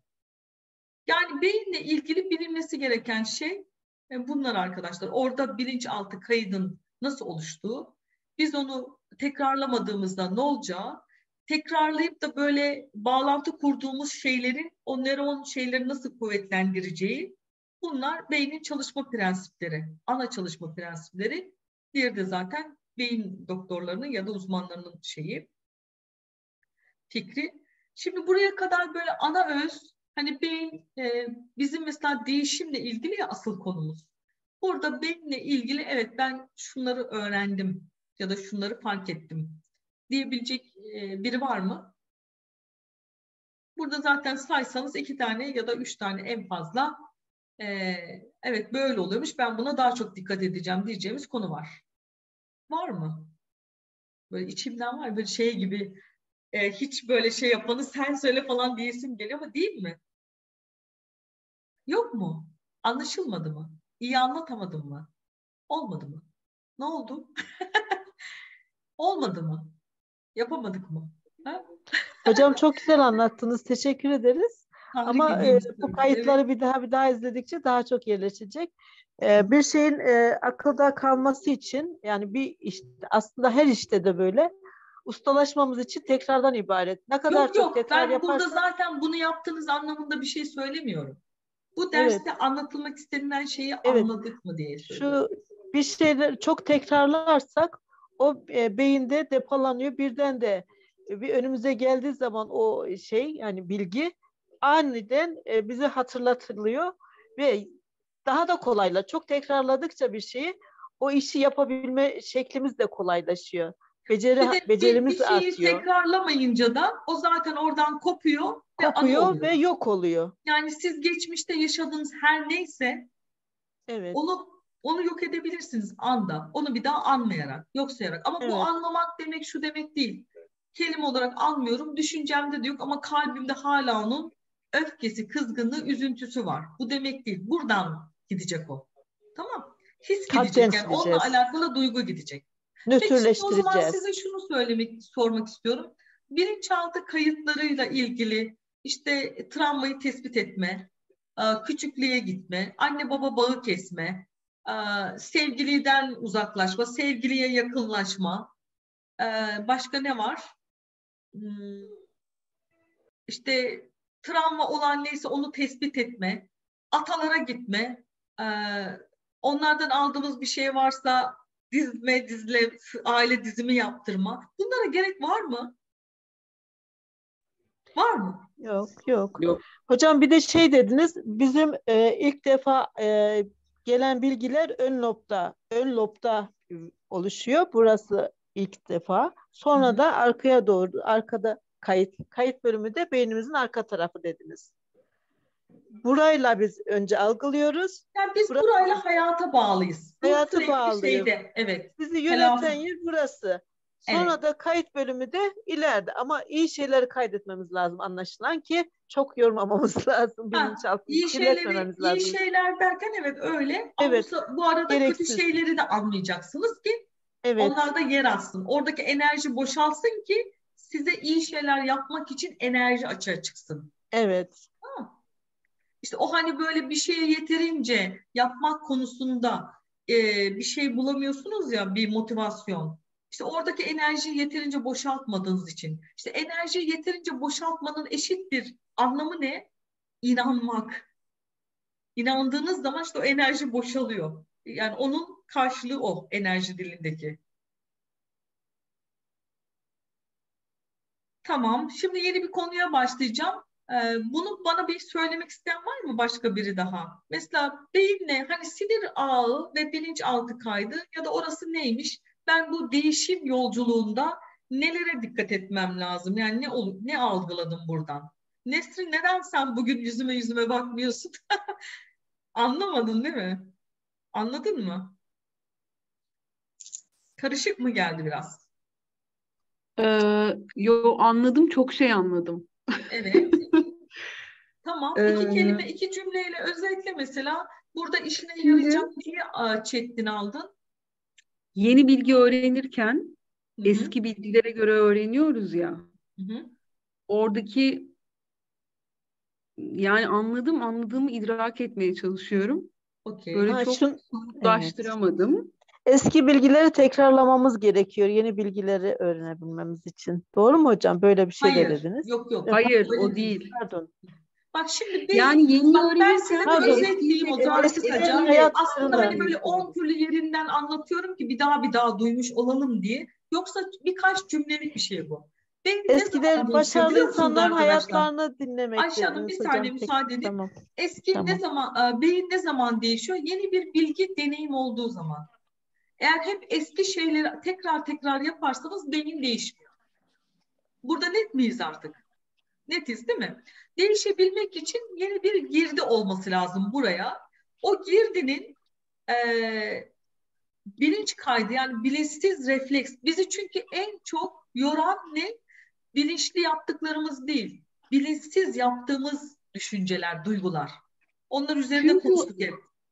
E, çünkü hocam sistem zaten işliyor. Orada ne koyduğun önemli. Nesrin'cim tamam okey öyle zaten. Bu, bu şey dedi. Onun nasıl oluştuğuna baktık. Yani ne oluyor da sinirler ne hale geliyor da o bilinç kaybı e, kaydı oluşuyor. Sonra o kaydın yok olması nasıl oluyormuş? Ona kimyasal kalmazsa sen de tekrar tekrar ben onu güçlendireceğim diye ya da çok büyük bir coşkuyla o enerjiyi çok büyük patlatırsan o oraya illaki gidip yapışır. Hani böyle büyümez de yavaş yavaş dal gibi böyle yavaş yavaş yavaş büyümez birden yapışır oraya. O zaman ona hemen bir tutkal bulması lazım sistemin. O zaman ne yapar? Onunla alakalı hangi nöronda bir şey kayıt varsa onun en güçsüzlerini koparır, onlardaki kimyasalı alır, onun altına yapıştırır. Sen o onlar kopunca ne olur? Sen artık onu hatırlamazsın. Onunla ilgili duygu senden gider. O gittiğinde ne olur? Eğer onunla alakalı bir hastalığın varsa şifalanırsın o anda. O anda. Tamam. Harika. Hocam özetle... Onun bir de şeyi karşılığı da unutkanlık olabilir mi? Yani bir e, onu unutmak. Yani onu koparttık. E, Şöyle olur, budadık. olabilir. Yani artık eskisi gibi hani anladığınız için beslemediğiniz bir şey unutulur. Hissi kalmaz, duygusu kalmaz. Sizi etkilemez yani hiçbir şekilde. Sizde bir şey olarak kalır. Bir anı yani bir işte bilgelik deniliyor ya o döneme.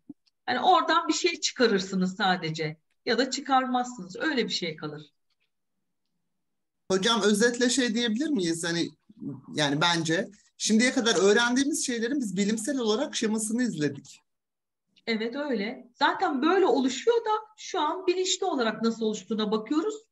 Bilinçli evet. olarak onu işte nasıl işleteceğimizi öğrenelim diye. Böyle de basit aslında bir şey var. Çok karmaşık değil yani. Yani bir şey öğrenirken biz gördüğümüz şeyi algılayabilmemiz için onu mevcut yazılımla tanımlıyoruz.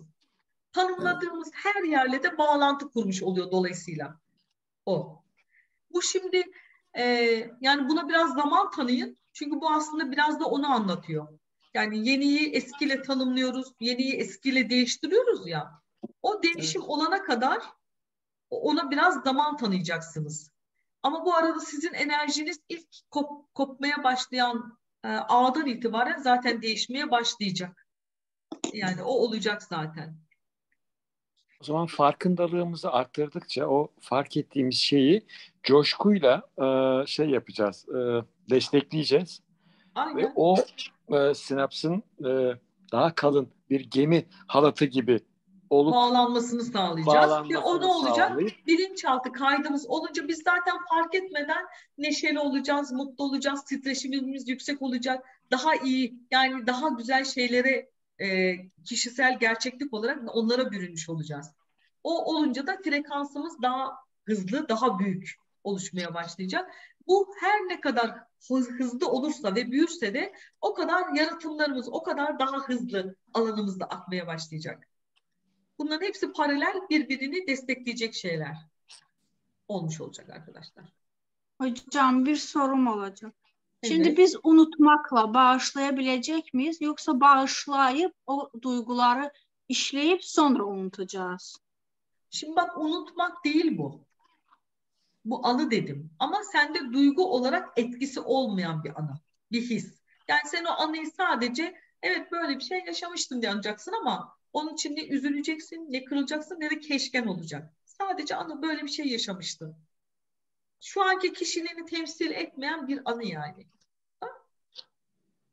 çok zayıf bir şeyse unutulmuş da olabilir. Yani unutmuş. Ama sen hani unuttum da hafızam zayıfladı diye bir şey yok. Sen onun yerine seni besleyecek bir sürü yeni bilgi koydun zaten. Yani unutulması gerekiyorsa unutursun. Şimdi o soruyu bir daha sorar mısın bana? Bağışlamak mı? Ne dedin? Yani şimdi biz unut bir bir konuyu unutunca o bağış doğal olarak bağışlamak mı geliyor? E Yoksa kendi bağışlı... içinden enerjiyi yok ettiysen onunla ilgili neyin varsa demek onu yok ettin. Senin başka birisiyle bir alışverişin yok mu? Senin kendi enerjinle o yolu. Öyle değil mi? Yani sende onunla alakalı bir his, bir duygu yoksa zaten onunla ilgili bir his, bir duygu yoktur. Her neyse o. Bugün bağışlamak da olabilir, yarın sevgi de olabilir. Hocam ben bir şey sorabilir miyim? Tabii ki. Ee, mesela bazen böyle sohbetler falan olduğunda hiç hatırlayamadığım mesela konular oluyor. Önemli. Hani aslında unutulabilecek bir şey değil ama hiç hatırlamıyorum evet. mesela. Bu nedir? Neden olur? Bu neden olur? Böyle çok fazla zihin kargaşasından olur genellikle. Hani şey diyoruz ya böyle e, niyetin net olması. Yani bu her düşüncede böyle. Şimdi sen gün içerisinde böyle çok fazla o bunu bunu düşünürken bunu bırakıp şuna geçiyorsan oradan birden bunu düşünürken buluyorsan kendini onu bırakıp bu işle ilgileniyorsan dur o yetişecekti bu diyorsan bunu ve bir belli bir e, alışkanlık haline de getirdiyse hayatın sana bu yoğunluğu, bu zihin kargaşasını bir de geçmişten getirdiklerim varsa bir de e, gelecekle ilgilileri de ekliyorsan üstüne zihin şey yani nereye şey yapacağını bilemiyor. Her yeri ateşli o yüzden. Sen neye dokunursan ona bir ateş gönderiyor. Ona ona ona ona derken sen bir anda ya burada bir şey vardı ben onu şimdi nasıl hatırlayacağım dersin o an sen hangi klasörü kapatıp hangisini açacağına karar vermeye çalışıyordur. Hani bir nefes almayıp bir sakinleyip şey yapsan onu sana getirir illaki. Yok yeni bir şey falan değil. Daha eskide yaşanmış bir şey. Mesela bazen bir şey anlatıyorlar. Diyorum ki ben ben de hiç yok mesela. Yani çok ciddi bir şey yaşanmış. Orada şeyin farkındalığın başka bir noktadadır. Yani başka bir şeydedir yoğunluğun. Hmm. Ona o kadar dikkat etmemişsindir. O an sende yoktur çünkü sen başka bir şey düşünüyorsundur. Bir yerde başka bir yoğunluktasındır. O an yaşanmıştır. Sen öyle geçirmişsindir o zamanı. Anladım. Öyle. Ee, hocam ben de bir şey sorabilir miyim? Tabii buyurun. Evet buyurun. Ee, şimdi dediniz ki yeni e, sinapslar e, az kullanılan farklı sinapslarla kimyasal birleşik oluşacak az kullanılan. Buradaki az kullanılanlar e, aynı duygunun alt basamakları mıdır? Farklı hisleri midir? Herhangi kullanılmayan mıdır?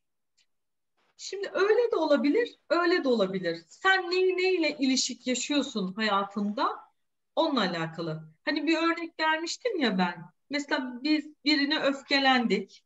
Evde bir şey oldu ve e, o bizi böyle bir öfke bombardımana soktu. Sonra o öfkeyle ben bütün günümü yaşamaya başladım. Bu bende bir şey olmaya başladı, mizaç. Sonra gün içinde sürekli kafamdan ya bana bunu neden yaptı, niçin yaptı diye sorgulayıp duruyor. O öfkeyi orada habire böyle besliyorum. Sonra markete gittim. Mizacım o yönde ya o aralar. Olumsuz bir şey oldu. Orada da daha çok öfkelendim. Bu sefer o öfkeyi marketle ilgili düşüncem ne varsa orada bu zihnim böyle tarıyor, algılıyor. Bütün onları onunla bağlıyor. Anlatabildim mi? Demin aynı çağrıştım yasasındaki gibi. Evet. Bağladı. Sonra ben o evet. bağlantıyı aldım. Markete gittiğimde de öfke hissetmeye başladım. Ortada hiçbir şey yokken. Böyle hazırım yani tetiklenmeye. Sonra oradan çıktım misal veriyorum işte uçağa bineceğim. Uçakta bir şey oldu. E, bir market ile ilgili bir şey yandı. Bir şey oldu. Ben gene anlam veremedim ama kendimi iyi hissetmiyorum. Çok gerginim gibi. Yani senin hayat düzeninde neyi neyle ilişkilendirip yaşıyorsan onunla alakalı. Yani şu zeminde neyin var? Çağrışım yasasına göre. Nasıl tanımlıyorsun? Neyle bağlantı kuruyorsun? Onunla. Yani o yüzden senin yaşadığın bir şeyi çok ekstrem bir şey yaşıyorsan eğer normaliteden anlamlandıramayabilir etraftaki insanlar.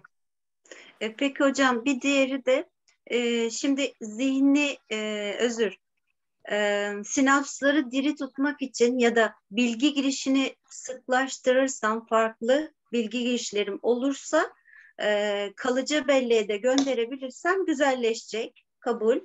E, burada bir belirli bir alanda ya da belli bir zamanda farklı bilgi girişini çoğaltmak mı? Bir alandaki yoğun, daha detaylı, daha yoğun yeni bilgiler edinmek mi?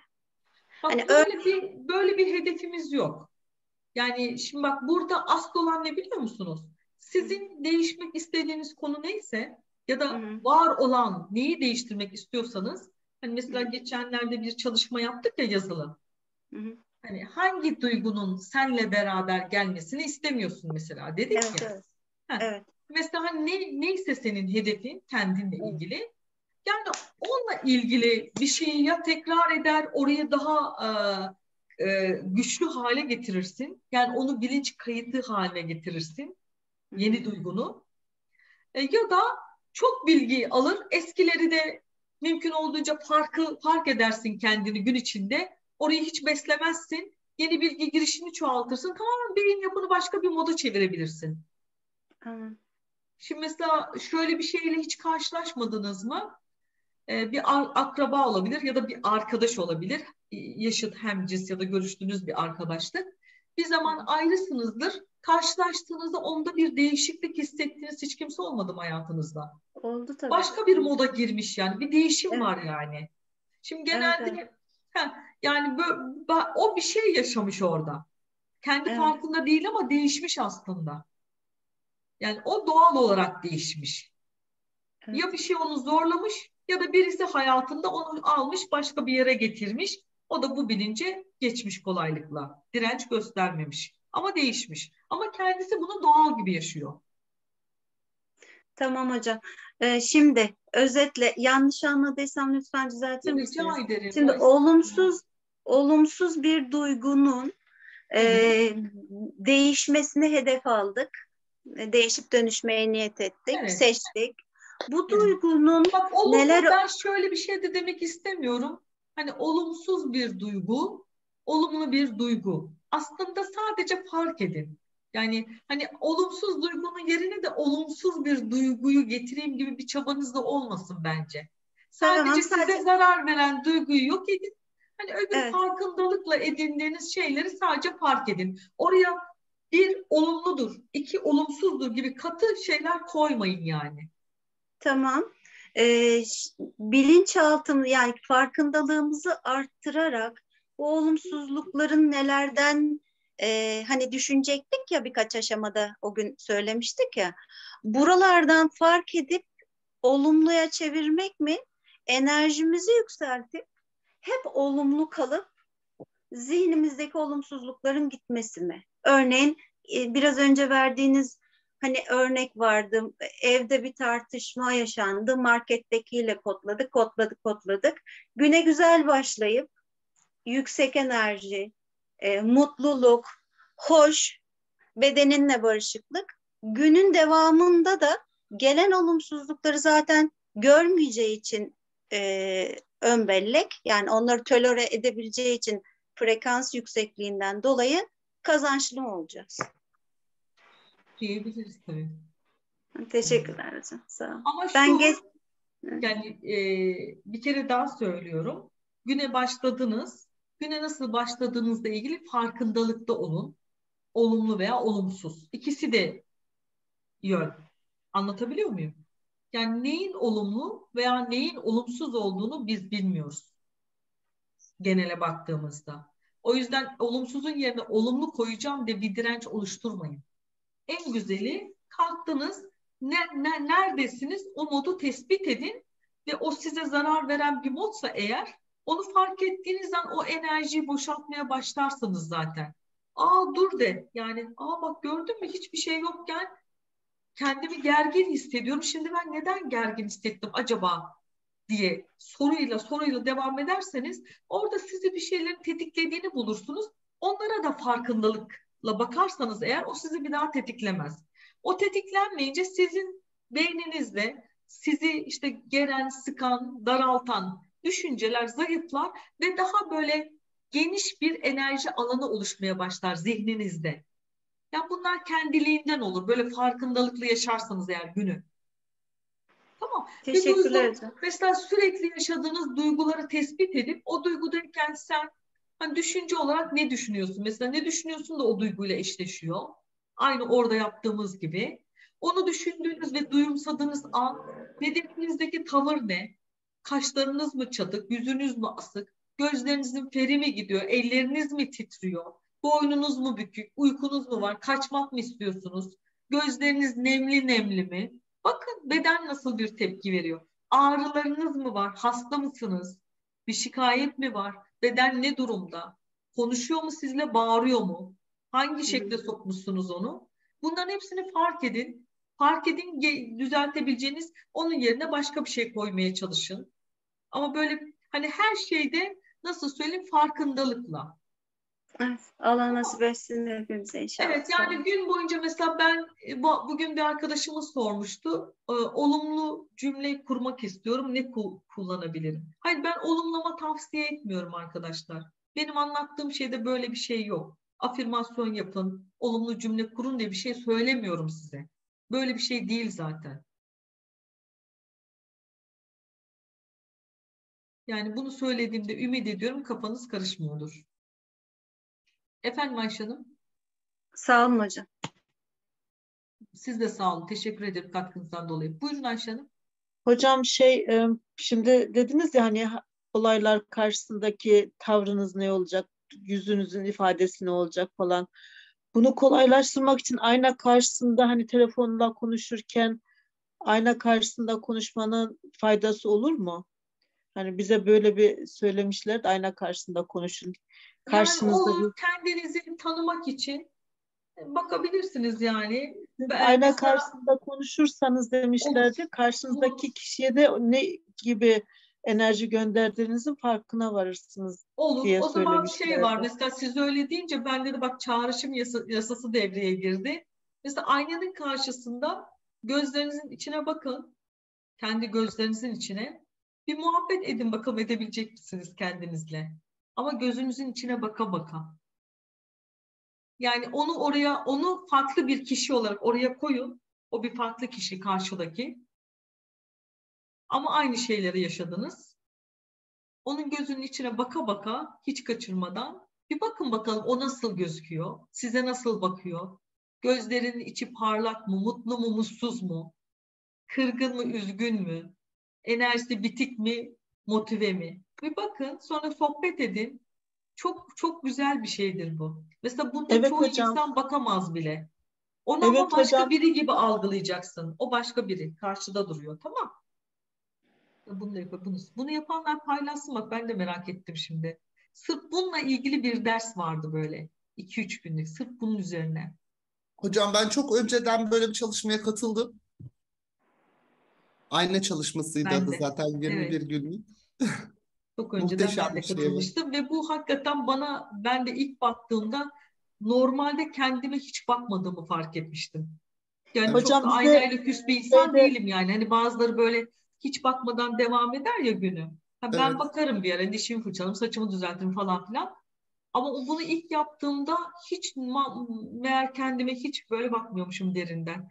Etraftaki insanları, olayları algılıyoruz çok kolaylıkla ama kendimizi fark etmiyoruz diyoruz ya. Gerçekten fark etmiyoruz. Her, her şey kendini sevmekle başlıyor. O kısım orada başlıyor. Zaten kendimiz, her şey kendimiz. Kendimiz. Şimdi bir konu daha var arkadaşlar. Bundan da e, bahsetmek istiyorum bugün. Çünkü yarınki konularımız başka.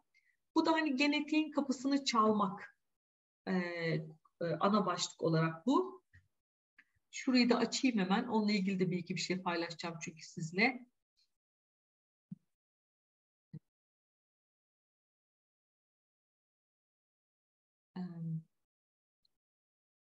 Şuraya gelelim.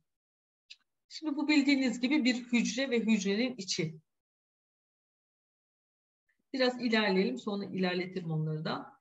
Vücudunuzun her hücresini e, bir deri hücresini çıkarırsanız eğer vücudunuzdan ve onun DNA'sını hücresinden çekip alırsanız yani şurada bir DNA var şunun içerisinde kromozom içinde Nerede gösterebilirim onu size? Şurada daha net gösterelim. Şu hücre çekirdeği, çekirdeğin içinde kromozom var. Şurada da DNA'lar var arkadaşlar bunun gibi. Bu DNA'yı da çekip çıkarırsanız eğer o hücrenin içerisinden e, yaklaşık DNA'nın uzunluğu 2 metre kadar yapıyor. Şuradaki kıvrık DNA'nın uzunluğu 2 metre. Sadece bir hücredeki. Tüm vücudunuzdaki DNA'yı çıkarırsanız ve onu baştan sona uzatırsanız eğer 150 kez güneşe gidip gelecek bir uzunlukta oluyor. 150 kez. Gezegendeki herkesin 7 milyar insanın tüm DNA'sını alıp sıkıştırırsanız da bir pirinç tanesi kadar yapıyor. Ne kadar naif bir yapı olduğunu farkındayız değil mi? Yani herkesin çıkarıp da bükersek eğer bir pirinç tanesi kadar bir şey yapıyor toplamı. Evet. Enerji de böyle. Gayet latif ve ipeksi. Sizin vücudunuz protein üretme makinesidir. Bakın protein üretme makinesidir. Biz hep bu proteini besinlerden alınan bir şey gibi e, algılıyoruz ya. Aslında vücudumuz proteinle çalışıyor. Protein. Kas hücreleri aktin ve miyotin adında kas proteinleri üretir. Deri hücreleri de deri proteini üretir. Yani kolajenle elastin. Tiroid hücreleri tiroid proteinleri üretir. Yani tiroksin. Bağışıklık hücreleri antikor denen bağışıklık proteinleri üretirler. Yani vücudunuz bir protein makinesidir. Ve vücudunuzun bir protein üretebilmesi için bir genin aktife olup çalışması gerekir. Şimdi şöyle bir şey göstereceğim tekrar. Bir saniye. Nasıl alabilirim?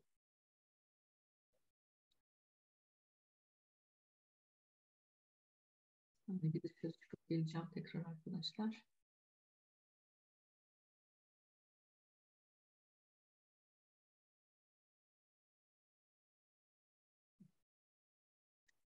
Şimdi buraya tekrar geleyim.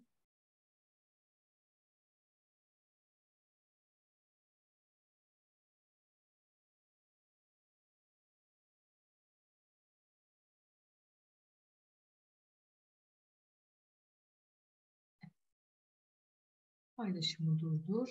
Şimdi bu şu protein makinesi olayını bir şeyden izleteyim size.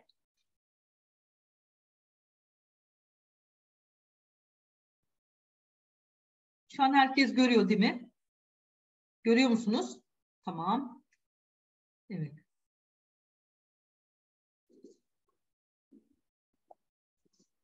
Ses geliyor mu? Ses yok hocam.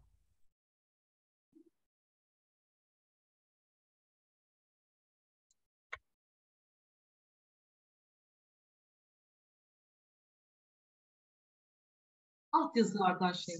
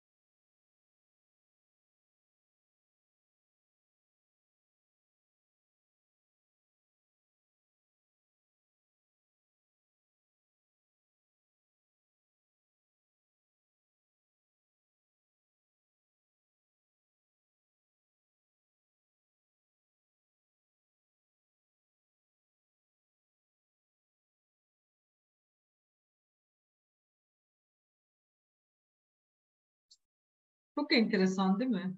Gerçekten öyle. Şurada bir de hücrenin içi var arkadaşlar. Onu size tekrar göstereceğim. Ee, bir dakika. Şimdi mesela şurada bakın bu bir tane hücre. Yani burada işte çekirdek zarı, çekirdek sıvısı, içinde DNA'sı. Şurada dış kabukta o krater gibi demin anlatmaya çalıştığımız e, yer vardı hücre zarı. Aslında bütün olay bu hücre zarı haberleşme ile ilgili muazzam bir güce sahip. Orayla haberleşme, o kapının açılmasıyla alakalı bir şey. Bizim değişimimizle ilgili olan kısım. Şu da bir farklı açıdan bakımı hücrenin. Ama hücreye çok yakından baktıklarında ve renklendirdiklerindeki görüntü bu arkadaşlar. Bilmiyorum yani kime ne hissettiriyor ama çok muazzam gözükmüyor mu? Koca bir şehir gibi hocam. Aynen değil mi? Yani evet. böyle kendi içinde her şeyi Luna, işlediği Luna koca Park, bir şehir Luna Park gibi. Gibiymiş. Luna Park Nasıl? gibiymiş. Luna Park gibiymiş. Rengarenk ışık. gibi. Aynen. ışıklı. Çok değişik. Mesela bu anlattığımız şeyde bu DNA hücrenin çekirdeğinde olan bir şey. Orada bir kromozom var. Kromozomun içerisinde DNA'lar var ve DNA'nın şu şeyi gen, gen yapımızı oluşturan şey de DNA'nın içinde. Biz şimdi eee, şeyde bu değişimleri yaparken bizim şeyimiz, hedefimiz ne? Bu e, DNA'nın içindeki yani hücrenin çekirdeğinden sinyal verip çekirdeğin açılmasını oradan da DNA'nın açılmasını sağlayacağız o e, hissiyatımızla ve duygumuzla e, meditasyon yapıyoruz ya onu öyle bir yoğun yaşayacağız ki gerçekten yaşanmış gibi algılayıp DNA'nın şeyi açılacak fermuarı açılacak ve değişim işte o anda gerçekleşmiş olacak arkadaşlar. Şimdi Hocam. şunu- efendim canım. Şu geçen günkü gönderdiğiniz ilk meditasyon müziği vardı ya. Evet. e, ben onu yatağa geçtikten sonra yaptım. Sonra da olmadığını düşünüyordum ama benim gittiğim yer sizin bu son gösterdiğiniz o renkli ışık gibi olan yerdi. Şu mu? Evet. Gerçekten. Hı hı. Vallahi çok muazzam. Yani tam orada ne yaptın? Yani oraya gittin. Yani şey eee, ben oraya gittim zaten. Yani o en son nokta bir sesler aslında ürkütücüydü. Bana biraz öyle korku hissi uyandırmıştı. Bir yere gitmişim yani uyu- uyumuş ya da hani belki e, ne diyorsunuz deltaya mı geçiş oluyor? Eee, o yani bir ses geldi yükseldi sonlarında olsa gerek. Ben orada e, şey hani böyle bir uyanmak gibi düşün ama gözlerim yine kapalı ve ben e, tam bu görüntü ama tabii bu kadar sarı değil. Daha siyah ama içi hep renkli, renkli şeyler yani. E, oradaydım. Sadece ben bir şey mi düşünmem gerekiyor dedim. Hani bir şey yaratmam gerekiyordu burada diye e, aklımdan böyle saniyelik falan geçti. Sonra daha önceki seçimlerde seç olduğundaki birkaç şey hani zaten olacağını biliyorum diyerek şey yaptım ama ben bu görüntüyü 2-3 kez gördüm. Sadece bu kadar sarı değil. Daha siyah ama çok Daha renkli siyah noktalı. Yani Evet. bu güzel bir deneyim ama devamında acaba ne gelecek? Ben onu daha çok merak ettim. Anlatırım. Tamam. Tekrar değil. Okey. Şimdi şey diyeceğim arkadaşlar.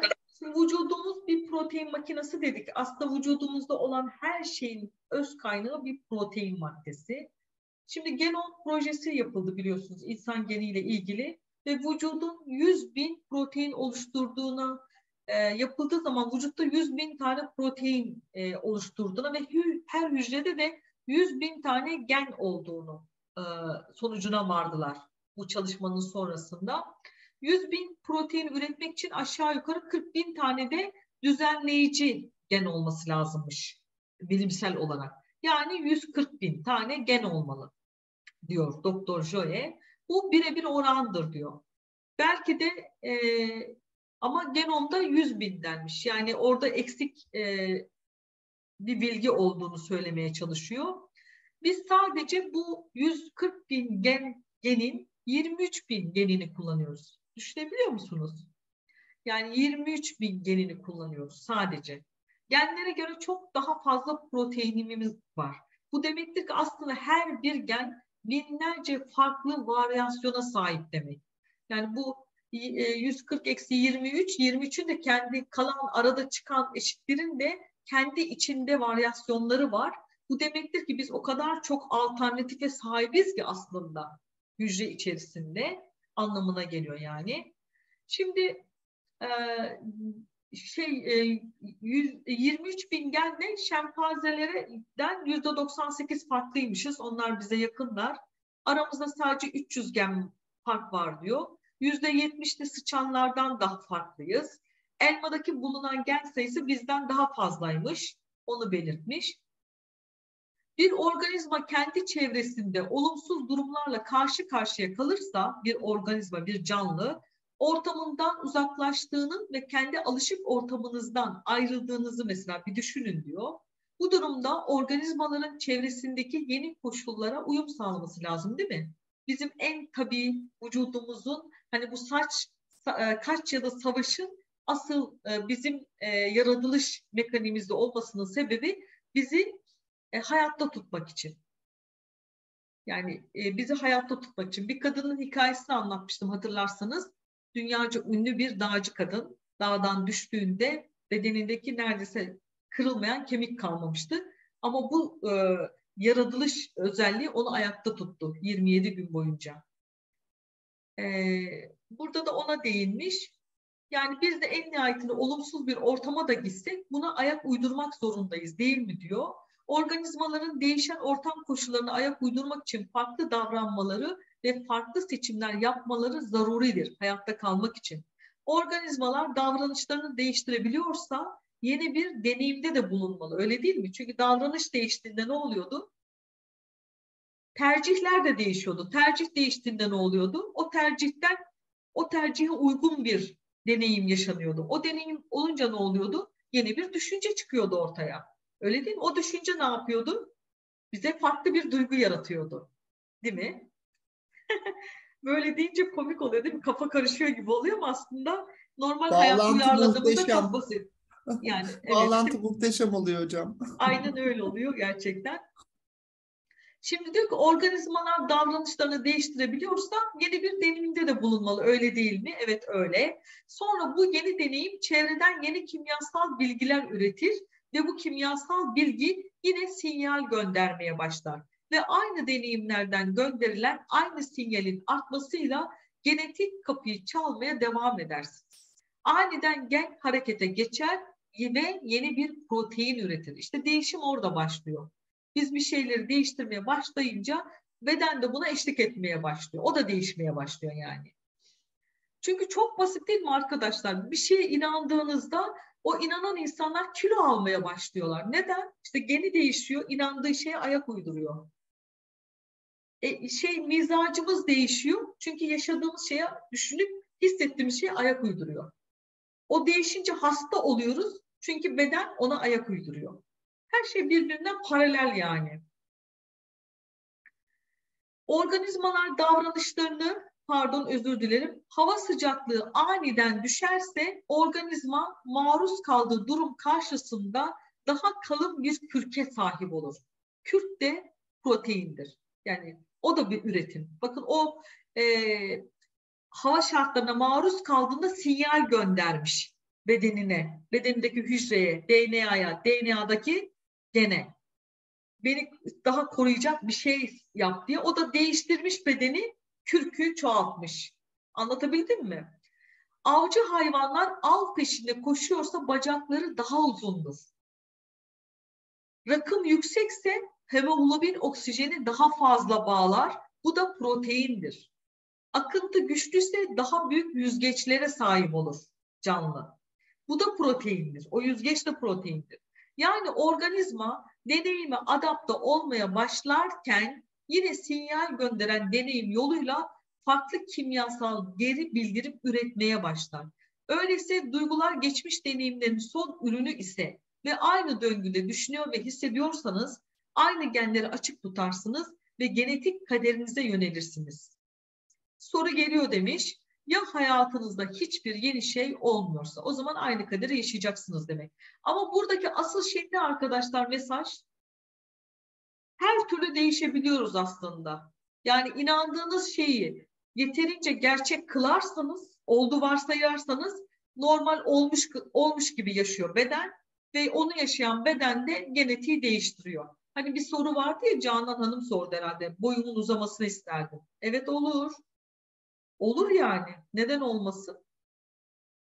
Şimdi mesela diyor bir grup şeker hastasını alsanız ve onlara bir saat komedi programı izletseniz, komedi programlarını izlerken kan şekerlerini yemekten önce ve sonra ölçerseniz bir saat içinde kan şekerlerini düzenlemeye başlayan 23 tane yeni gen sinyal ederler. Kan şekerleri düzelir. Sadece komik bir şey izledikleri için. Sadece dahili durumlarını değiştirerek yeni genler açılır ve eski genler kapanır.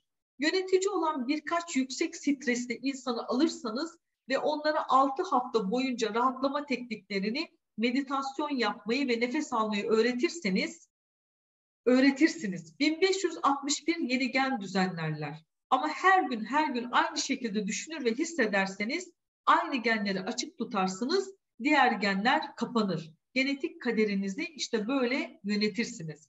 Yani hasta olacakken olmazsınız. Yeni genlerle hatta kendinizi daha üstün bir varlık durumuna getirebilirsiniz. Ve aynı gene aynı proteini üreten aynı duyguyla sinyale devam ederseniz o gen er ya da geç yıpranır. Daha ucuz bir protein üretmeye başlar. Bakın bu da ne demek biliyor musunuz? Yani sürekli stresle, üzüntüyle, gamla, aynı duyguyla o gene aynı sinyali verirseniz o gen yıpranıyor ve e, kalitesi düşük protein üretmeye başlıyor. İşte biz o zaman yaşlanıyoruz. Yaşlılık böyle oluşuyor. Hocam bir şey sorabilir miyim? Ee, genelde iş hayatımız sırasında tatillerimiz oluyor. 15 gün, 10 gün, bir hafta. Evet. Ve biz bu tatillerde e, eğlenmeye, dinlenmeye, e, hani vücudumuzun isteyebileceği, kafamızın uyacağı şeyler yapmaya çalışıyoruz. Ama evet. e, dönüp de ilk iş gününe geldiğimiz zaman tekrar aşırı derecede kendimizi yorgun hissedip ve o iş temposu içerisinde o hafta sonuna doğru ulaşırken e, tekrar vücudumuzu şeye ayarlıyoruz. O, o daha az yorgun şeyini ayarlamaya çalışıyoruz. Yani eski temposuna getirmeye çalışıyoruz. Evet. Peki bu ilk gün bu aşırı e, şey neden kaynaklanıyor? Yani hani e, biz oradaki stresi atmış olmuyor muyuz? Yani gerçekten iyi bir e, dış uyarımlar alıp iyi bir e, sinapsislerle iyi bir bağlantılar kurup iyi çapalamış olmuyor muyuz? Tamam. O zaman çok güzel bir soru. Kim cevap vermek ister? Cevap vermek isteyen var mı Adem Bey'in sorusuna? Hocam şey diyesim geldi ama hani e, iyi şeylere alışkanlık e, belki de hani o tatilde yaşadığı mutluluğu insan hani devam ettirmek istiyor. İş ortamına tekrar girdiğinde bocalamak gibi bir şey sanki. Hani o iyi olanı yaşamaya devam etme isteği sanki. Ama bak bu düz hala bu düzenin kurallarına göre cevap veriyorsunuz. Ama bu düzenin kurallarına göre sorulmadı mı? Yok şimdi o öyle sordu da biz şimdi nereden e, cevap vereceğiz? Artık yeni bir şey e, yürümeye başladık ya bir nehre girdik. Oradan bir cevap vermemiz lazım artık ya. Onu kastediyorum. Aslında Bence hani zaman bu da, bu da şey değil yani ondan çok uzak bir şey değil öğrendiğimiz bir şey. Çünkü hepsi bilimsel olarak bir şeyleri konuşmaya çalışıyoruz karşılıklı olarak. Pardon o arada birisi konuştu. Kemal sen de konuştun. Nedir? Nedir ben, bence zaman bence zaman az. Tekrara girmediği için öyle oluyor. Bence öyle. Öyle mi? Yani o duyguları bir hafta yaşıyoruz. Tekrar geri dönüyoruz aynı şeye. Hayır. Ne? Sen de, sen de üç boyutlu bu dünyanın kurallarıyla cevap veriyorsun şu an. Evet. Başka? Nazlı. Hocam Evet. Bence o, o stresi ve huzuru e, neşeyi o sinaptik ağlar yeterince tam oluşturamadan e, yeniden e, eski ortamına döndüğü için e, e, o anki kısa dönemi hatırlayamıyor şeyler o eski Yani birazcık sanki bir ucundan falan bir şey oldu ama öyle değil yani cevabı. İfade, ifade etmekte biraz zorlanıyorum ama kelimeleri e, yani a, anladım sorunuzu ama tam net ifade edemiyorum. E, o o yeni e, tatil ortamındaki şeyi hücreler ve vücut hani e, onu hatırladığı için iş hayatının ilk günü e, ya da ilk haftası e, o eski hani eskide kalmış olan o şeyi hatırlamak istiyor. O, orada olmak istiyor. Tam güçlü olamadı. Evet. Tamam. Teşekkür ederim. Sağ ol katkın için. Var mı başka birisi arkadaşlar? Hocam, Hocam farkındalık koymadığı için olabilir mi? Farkındalığı nereye koyacaktı Derya'cığım? Değişime yani o yine aynı şeyleri hissediyor ya iş ortamına giriyor. Yani orada bir farkındalığı koyduğu zaman e, o şeye kapılmamış olabilir yani. E, Serdar'cığım sen de söyler misin? Aynı duyguları, aynı şeyleri e, yüklediği için herhalde. Yani hani duygu evet. dönüşümünü gerçekleştiremediği için. Tamam bir de evet, Serdar'ı dinleyelim. Sonra şey yapalım artık. Evet. Hocam e, herhalde bilinçaltına gönderiliyor. Yani 15 gün sonra bu tatil bitecek tekrar yoğun bir tempo ile çalışma. Onu kesmediği için olabilir. Yani tebrik ederim. Şu son üç konuşma zaten e, çok yerindeydi. Hakikaten. Selda da sen de noktayı koymuş oldun. Sağ olun hepinizin katkısı şahane. Evet öyle. Yani ne kadar işte orada eğlense de gülse de kişi e, orada e, şeyde hani dedik ya çağrışım yasası. Yani iki yasayı da kullanmamış zaten. Yani iyi geçirdiği zamanlarda bir şeyleri tekrar etmekle ilgili e, hani bir farkındalıktan bahsetti Nazlı Hanım. Hani bu kısımda bir değişik yaratacak zamanı olmamış zaten. Sadece farkındalık yok orada. Çünkü bir bilinç şey olayıyla ilgili değil. E, iş yerinde bazı şeyleri de e, kaydetmiş. O kaydedilen şeylerle de çok fazla tecrübe olduğu için hani bu nöron ağları beraber ateşlenir diyoruz ya. Kızarsan sinirlenirsin, öfkelenirsin, mutsuz olursun. İşte mutluysan yaratıcı olursun, neşeli olursun, bilmem ne olursun, merhametli olursun diyoruz ya. Beraber ateşleniyorlar. İşte o e, iş yerine ait her şeyi de bağla hatta iş yerinin kapısıyla e, toplantı birbirine bağlanmıştır. Yani bu tecrübeler, yaşanmışlıklar vesaire vesaire. İşte o an işe gideceğin düşüncesi bile hatta hafta sonundan iş için hazırlanmaya başladığı an bile vücut o beyin o şeyleri çalıştırmaya başlar. Sınavları. İş yerine gitmenize bile gerek yok. Hani düşünerek değiştirmiyor muyuz birçok şeyi? Bu da böyle. O stresi yaşamaya başlar beden. Yarın iş var. Gene başladı. Öyle değil mi? Onları düşünürken Ahmet Bey'in, Mehmet Bey'in herkesin yüzü gözünüzün önüne gelir. Yaşadığınız stresli anlar gelir. Her şey gelir. Neyle bağlantılıysa o an düşünceniz. Hepsi gelir gelir gelir. Siz zaten gidene kadar o enerjinizi aşağıya çekersiniz de çekersiniz. Bitirirsiniz de bitirirsiniz yani. Bundan dolayı yani neden dolayı kısacası bakış açısı, inanç kalıpları, yargı. Yargı. Yargı o kadar zararlı bir şey ki arkadaşlar zehirden beter. O yani. Şimdi devam ediyorum arkadaşlar. Zamanımız doldu ama şu şeyi vermek istiyorum. Burada bir iki bir şey alırsınız diye. Sonrasında konuşmak istersek devam ederiz olur mu? Şimdi dedi ki hani bir grup şeker hastasına bir saat boyunca gülerse 23 yeni gen üretmiş olurlar ya, oldular ya demin. Aşırı stresli bir grup insanı da aldılar, onlara meditasyon falan falan filan yaptırdılar onlar da 800'den fazla yeni bir gen, gene sinyal gönderdiler o halleriyle. Yani gene sinyal göndermek demek geni değiştirmek demek. Genin yapısını değiştirmek demek. Devam ederseniz o gen mutlaka siz ne istiyorsanız ona doğru evrilir. O da kaderi değiştirmek demek. Hem bedensel hem manevi olarak sadece farklı bir şey yaparak iç durumlarını değiştiriyorlardı. Demin de fark ederseniz hani soğukta üşüyen bir canlı için beden yeni bir kürk oluşturdu kalın. e, koşmak, e, avlanmak isteyen bir varlık için beden uzun bacaklar oluşturdu. İşte bilmem e, şeyde dağa çıkan birisi için beden onu tölere edecek bir yapı oluşturdu. Yani bu şu demek, siz e, e, hani onlar doğal olarak bu değişimi yaşadılar. Hayatta kalma güdüsüyle. Ama aynı inanç yoğunluğuyla, aynı o işte e, sarılmakla e, siz de mevcut durumunuzu, beden durumunuzu tamamen değiştirebilirsiniz anlamına geliyor bu. Tamam bunun şeyi bu. İşte bu da bir gerçek. Yani e, o onların e, değişimini sağlayan o yüzgeç, çoklu yüzgeç, o tüy, o bilmem ne hepsi proteindi. Genin kapısını çaldığınızda onun ürettiği şey de protein. Çünkü protein gidip onu yapıyor. Anlatabildim mi arkadaşlar?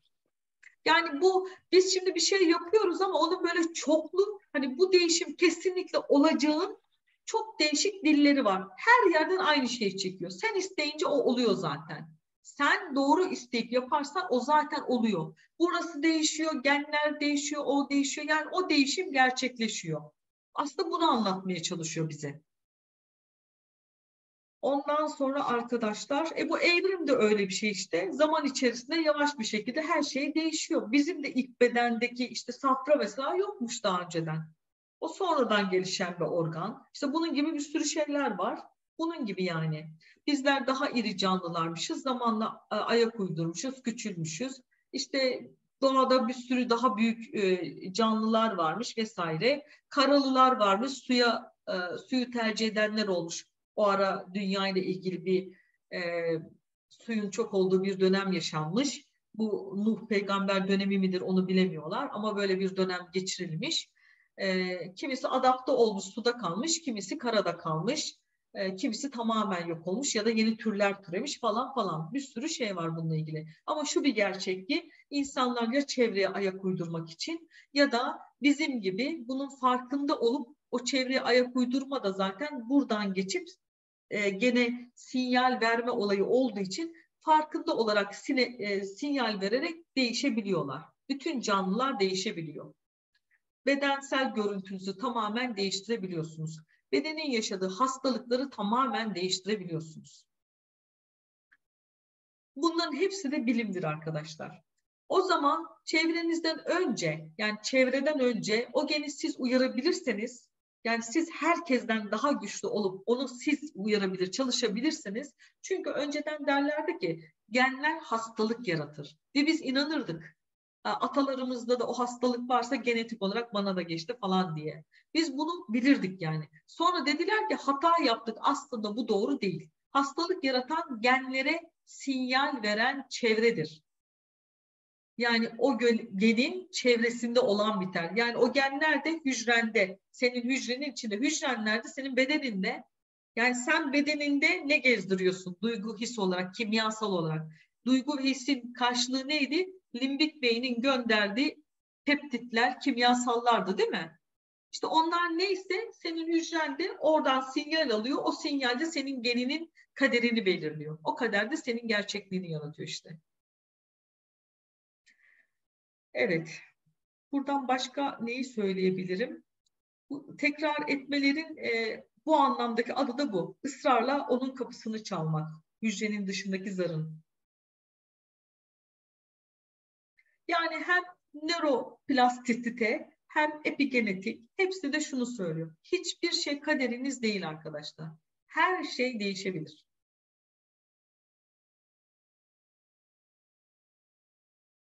Evet. Şimdi burada bir birkaç yaşanmış örnekten bahsetmiş. Belki hani sizde farklı bir şey oluşturabilir diye bunları böyle hızlıca e, not ettim azaltarak. Bir kadın var mesela bu eğitimlerin birinde, atölye çalışmaların birinde Güney Amerika'da yanlışlıkla suçsuz yere tutuklanmış bu kadının eşi. Güney Amerika'da bir suçtan dolayı tutuklanıyor ama şeyi yok, suçu yok aslında. Ve 5 yıldan fazladır da hapishanedeymiş yani orada yatıyor. Bu kadın ve onun 14 yaşındaki oğlu e, bu şeylere katılmışlar ve orada işte bu yeni varoluş durumuna geçmişler. Çünkü artık orada anlatılanların gerçekliğine inanmışlar. Aynı o motivasyonla meditasyon durumuna girmişler ve maddi emretmişler. Hani orada yaratıcı pozisyonuyla bunu yap diyor ve teslim ediyoruz ya meditasyonda. Bu emri gerçekleştirmişler meditasyon bittiğinde telefonları çalmış. Ve arayan kadının kocasıymış. Ve aynen şöyle söylemiş. Ne oldu hiç anlamadım. Gelip hücremin kapısını açtılar. Bunlar da o arada meditasyonda bir şey kapı görüyorlar ikisi de. Kadın da oğlu da bir sadece bir kapı görüyorlar meditasyonda. Yani onları yorumlamak da ayrı bir ilim. Onu ben çok bilmiyorum. Ee, ve sonrasında meditasyon biter bitmez telefonu çalıyor ve eşi diyor ki ne olduğunu bilmiyorum.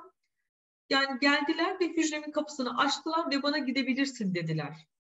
Evet tek yaptıkları şey diyor kaderi gözlemlemekti ve ona emretmekti. Sonra bir başka e, çalışma grubunda bir kadın var. Bu kadın da Londra'da yaşayan bir kadın ve üst çenesindeki bütün kemikler e, şeyini kaybetmiş. E, matriksini kaybetmiş. Yani hiç zemin kalmamış burada. Ve kemik kaybı o kadar çokmuş ki implant bile takamamışlar dişlerine. Çünkü takılacak bir şey yok yani orada. Neyse e, o da bu çalışmaların birinde gene maddeye komut vermiş ve tabii orada muhtemelen bununla ilgili bir şey istemiş ki e, orada sadece o bağlandığı an bir köpek çenesi görmüş. Kuantum alanda bir köpek ve onun çenesine dikkat çeken bir görsel görmüş ve bunun e, o çenenin sadece güçlü olduğu ile ilgili bir his verilmiş ona orada o anda. Ve iki hafta sonra e, bir değişim olduğunu fark edip röntgen çekilmeye gittiğinde e, dişlerinin e, o bölümünde kemik olmayan alanda kemik oluşumunun başladığını söylemişler röntgen çekiminde. Düşünebiliyor musun? Bakın yok olan bir şeyi beden oluşturmaya başlıyor. Çünkü o kadar güçlü sinyal verdiniz ki beden onun gerçek olduğuna inandı. O alandan, o enerjiden. Ve olacak bir şey size getirdi. Sadece kaderi gözlemleyerek diyor. Şimdi şurada bir iki bir şey var. Onları da sizle paylaşmak istiyorum. Oraya not ettim. Ee, evet burada. Tamam. Şunu şöyle. Bu sizde tam ekran açılı değil mi şu an? Tam ekran tam ekran değil hocam. Ya, yandaki şeyler de görünüyor. Okey. Şimdi burada e, öz ve şey olarak insan çok katlı ve çok boyutlu bir varlık. Yani biz farkında olsak da olmasak da birçok boyutta aynı anda bir yaşam sürüyoruz. Ama bu bizim şu anki konumuz değil. E, o yüzden sadece bu kadarını ifade edeyim. İşte bilinçaltı, öz bilinç, ortak bilinç, evrensel bilinci hepsini kapsıyor insan. Hepsiyle bir aslında iletişim halinde, bir bilgi alışverişinde. İnsan da bütün bu katmanların gücünü temsil eder. Yani bu güçlerin hepsi aslında kendinde mevcuttur. Çünkü bağlantıda. Hani biz de diyoruz ya şimdi bir alan oluşturuyoruz. O alanda e, herhangi bir değişiklik olduğunda alanda mevcut olan herkes o değişimden faydalanır. O katkıyı alır yani. Evet, bilinç katmanları yerinde ve birbiriyle uyumlu olarak kullanması gerektiği, her şey olması gerektiği gibi olduğunu da aslında içsel olarak, sezgisel olarak da bilir zaten. Ee, insan öz olarak mükemmel ve tamdır. Olaylar başımıza gelen değil, yaptığımız şeylerdir. Yani bunu böyle görürsek eğer, bu doğruyu alır da tamamen kabul edersek zaten öyle davranmaya başlarız. Her mesaj bizi bize tanıtır. Bakın buralardaki şeyler çok değerli. Aslında bir özeti gibi yaşadığımızın. Yaşamın zekası mükemmel versiyonumuzu ortaya çıkarmaya yöneliktir. Yani bize bütün gelen kozmik destekler ya da işte üst ben, öz ben, her neyse onun adı Rab, hangi sistemse bunların hepsinin amacı bizi kendi en mükemmel versiyonumuza yani bunun eşittir karşılığı bilinçlenmek, daha daha da çok bilinçlenmek ki en en büyük bilince yakın olabilmek, ona yakın durabilmek e, içindir. O zaman bir soru geliyor size. Kendinize sorun. Yani madem bütün bunlar biziz, o zaman gerçek sen kimsin?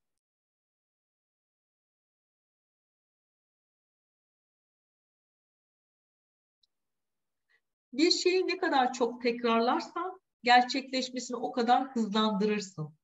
Bundan beynimizdeki sinir hücreleri arasında bulunan sinaps adı verilen bağlantılar sorumludur. ruhumuzu eğiterek geleceğimize istediğimiz şekilde yön verebiliriz. Bunlar benim sözlerim değil arkadaşlar. Bunların hepsi dünyaca ünlü kabul görmüş bilim adamlarına ait sözler. İstemediğimiz inançlarımızdan kurtulmanın yegane yolu arzu edilen yeni inançlarla istikrarlı bir şekilde meşgul olmaktır. Doğru bir ama biz eskiyle ve dertlerimizle meşgul olduğumuz için şimdiye kadar böyle bir yaratım oldu.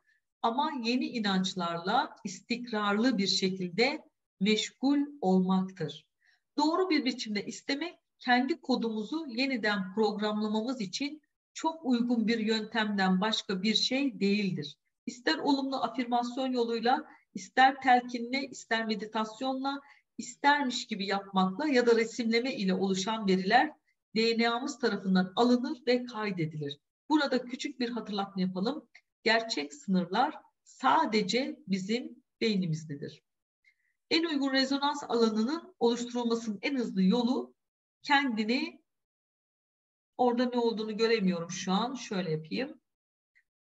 Kendimize kendini takdir etmektir. Yani kendimizi sevmek, onurlandırmak. Kendimizi takdir etmek e, şaka olduğumuz bir şey değil. Alışık olduğumuz bir şey değil bu. Kendimize öz eleştiri yaparak bakmaya o kadar alıştık ki artık e,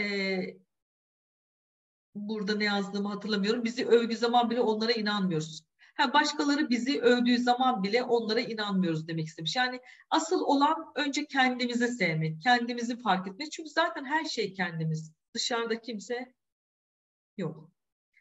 Şimdi gerçek isteklerinle titreşime geçtiğin anda savaşmana ya da aşırı güç sarf etmene gerek kalmaz. Kendini mutluluk ve külfetsizlik içinde bulursun. Doyum içinde huzura kavuşursun. İşte hak ettiğin şey de budur. Zaten bu aslında. Öbürünü biz büyüttük ve çoğalttık. Ee, buraya kimin resmini koyduğumu dikkat edin lütfen. En derin korkumuzun sebebi yetersiz olduğumuz duygusu değildir. En derin korkumuzun sebebi ölçülemez kudretimizdir. Bakın bu çok önemli bir laf biliyor musunuz? Yani bilişsel olarak o büyüklüğümüzün aslında farkındayız onu alıp kabul etmekten korktuğumuz için çünkü onu kalıp kabul edersek diğer insanlardan farklı bireyler olacağız. Dışlanacağız. O grubun dışına çıkacağız. Başka bir bilinmeyene doğru yolculuk başlayacak ya. İşte o yüzden diyor ki en derin korkumuzun sebebi yetersiz olduğumuz duygusu değildir. En derin korkumuzun sebebi ölçülemez kudretimizdir. Korktuğumuz şey karanlığımız değil, yaydığımız ışıktır. Bakın kendi ışığımızdan korktuğumuzu kesinlikle yüzde yüz katılıyorum. Kendimize soruyoruz. Ben kimim ki parlak, harika, yetenekli ve etkileyici olabiliyorum? Sen kimsin ki bu özellikleri reddediyorsun? Sen Tanrı'nın yarattığı bir varlıksın. Kendini küçümsemenin dünyaya bir faydası olmaz. Çevrendekilerin güveni sarsılmasın diye küçülmek meziyet değildir. Biz Tanrı'nın içimizdeki gücünün yansımalarını göstermek için doğduk. Biz Tanrı'nın içimizdeki gücünün yansımalarını göstermek için doğduk. Bu güç sadece birkaçımızda değil, bu güç tüm insanlarda var. Kendi ışığımızın parlamasına izin verdiğimizde bu şansın farkında olmadan başkalarına da veriyoruz. Kendi korkularımızdan kurtulduğumuz anda varlığımız bizim çabamız olmaksızın başkalarını kurtaracaktır. Bunu seneler önce bu adam söylemiş arkadaşlar. Ne kadar büyük bir bilinç değil mi? Yani farkındalığına bakar mısın adamın? Mesela çok şükür ki bizim Atatürk'ümüz de öyle. Yani seneler önce o ortamlarda öyle sözler, öyle kitaplar, öyle cümleler kurmuş ki hani sırf bu ağla değil ta ilerisine bile hitap ediyor yani artık nereye uzanırsa. Evet arkadaşlar benim bugünlük planladığım şekil buydu. Hani bu bugün konuştuklarımız hakkında ya da eğitimimizin diğer konularıyla ilgili sormak istediğiniz, katkı vermek istediğiniz bir konu varsa eğer konuşalım. Sonra da birkaç söz vereyim. Sonra kapatalım. Olur mu? Var mı acaba? Hocam bir şey sorabilir miyim? Merak Hı-hı. ettiğim bir konu. Hı-hı. Hani dediniz ya az önce boyunuzu atabilirsiniz. Nasıl evet. olur hocam? Nasıl olur derken? Hani boyunuzu ben şimdi mesela istesem boyumuzu atabilir miyim hani evrene evet. mesela olumlama evet. her neyse. Evet. Nasıl yapabilirim bunu? İşte nasıl nasıl ne demek o? Şimdiye hani kadar boyun... ne konuştuk biz? E, yani isteyince oluyor. Yap ol deyince bunlar olumlu şeyler. Hani gücümüzü kullanarak. Ama işte ama şimdi öyle bir soru sordun yaş ki var. Ayşe Hanımcığım. Yani ya, yaşımız e, bu yaşta gelmiş. Baştan sonra sana eğitimi tekrar özetlemem lazım. Şimdi nasıl olur ha, bu? Tamam. Bir kere bunun olacağına e, bilim olarak yani bütün konularla artık inandıysan zaten yapacağın şey ne? O inancı Büyütün. o inanç doğrultusundaki düşünceleri kabul edeceksin. Onun olmayacağını olanları fark edip yok edeceksin. Değil mi? Meditasyona girdiğin zaman boyunun nasıl bir şekil olmasını istiyorsan e, öyle olduğunu kabul edeceksin. Çünkü bileceksin ki sen bunu istediğinde, enerji olarak da gönderdiğinde o zaten oluyor. O coşkuya gireceksin.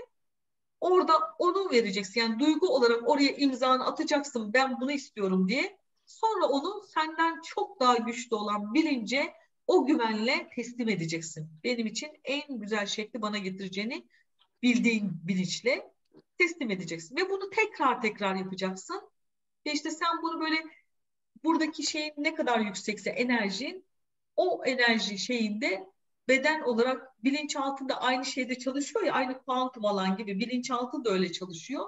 Onlar bunun gerçekliğini sen yaşamışsın gibi algılayıp değişimlere başlayacaklar. Böyle oluyor.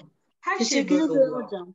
Rica ederim. Ama bunu yaparsanız ve bu olursa ve bize de söylemezseniz o zaman günahımız boynuma. Derler günah boynuma. Valla deneyeceksiniz. 20 yaşından beri hocam neredeyse depresyonlara girdiğim zamanlar oldu. Benim boyum şu kadar olsaydı, bu kadar olsaydı, böyle olsaydı, şöyle olsaydı. Vallahi Onun için ben çok istedim. Yapsak, ne yapsak bu. bir boy sor işte şey. Şu anda 1.53 boyundayım hocam.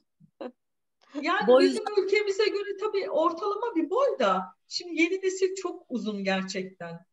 Yeni nesil böyle uzun uzun olunca biraz şey oldu tabii. Yani biraz daha olmak lazım gibi bir duygu oluştu. Handan Hanım. Efendim.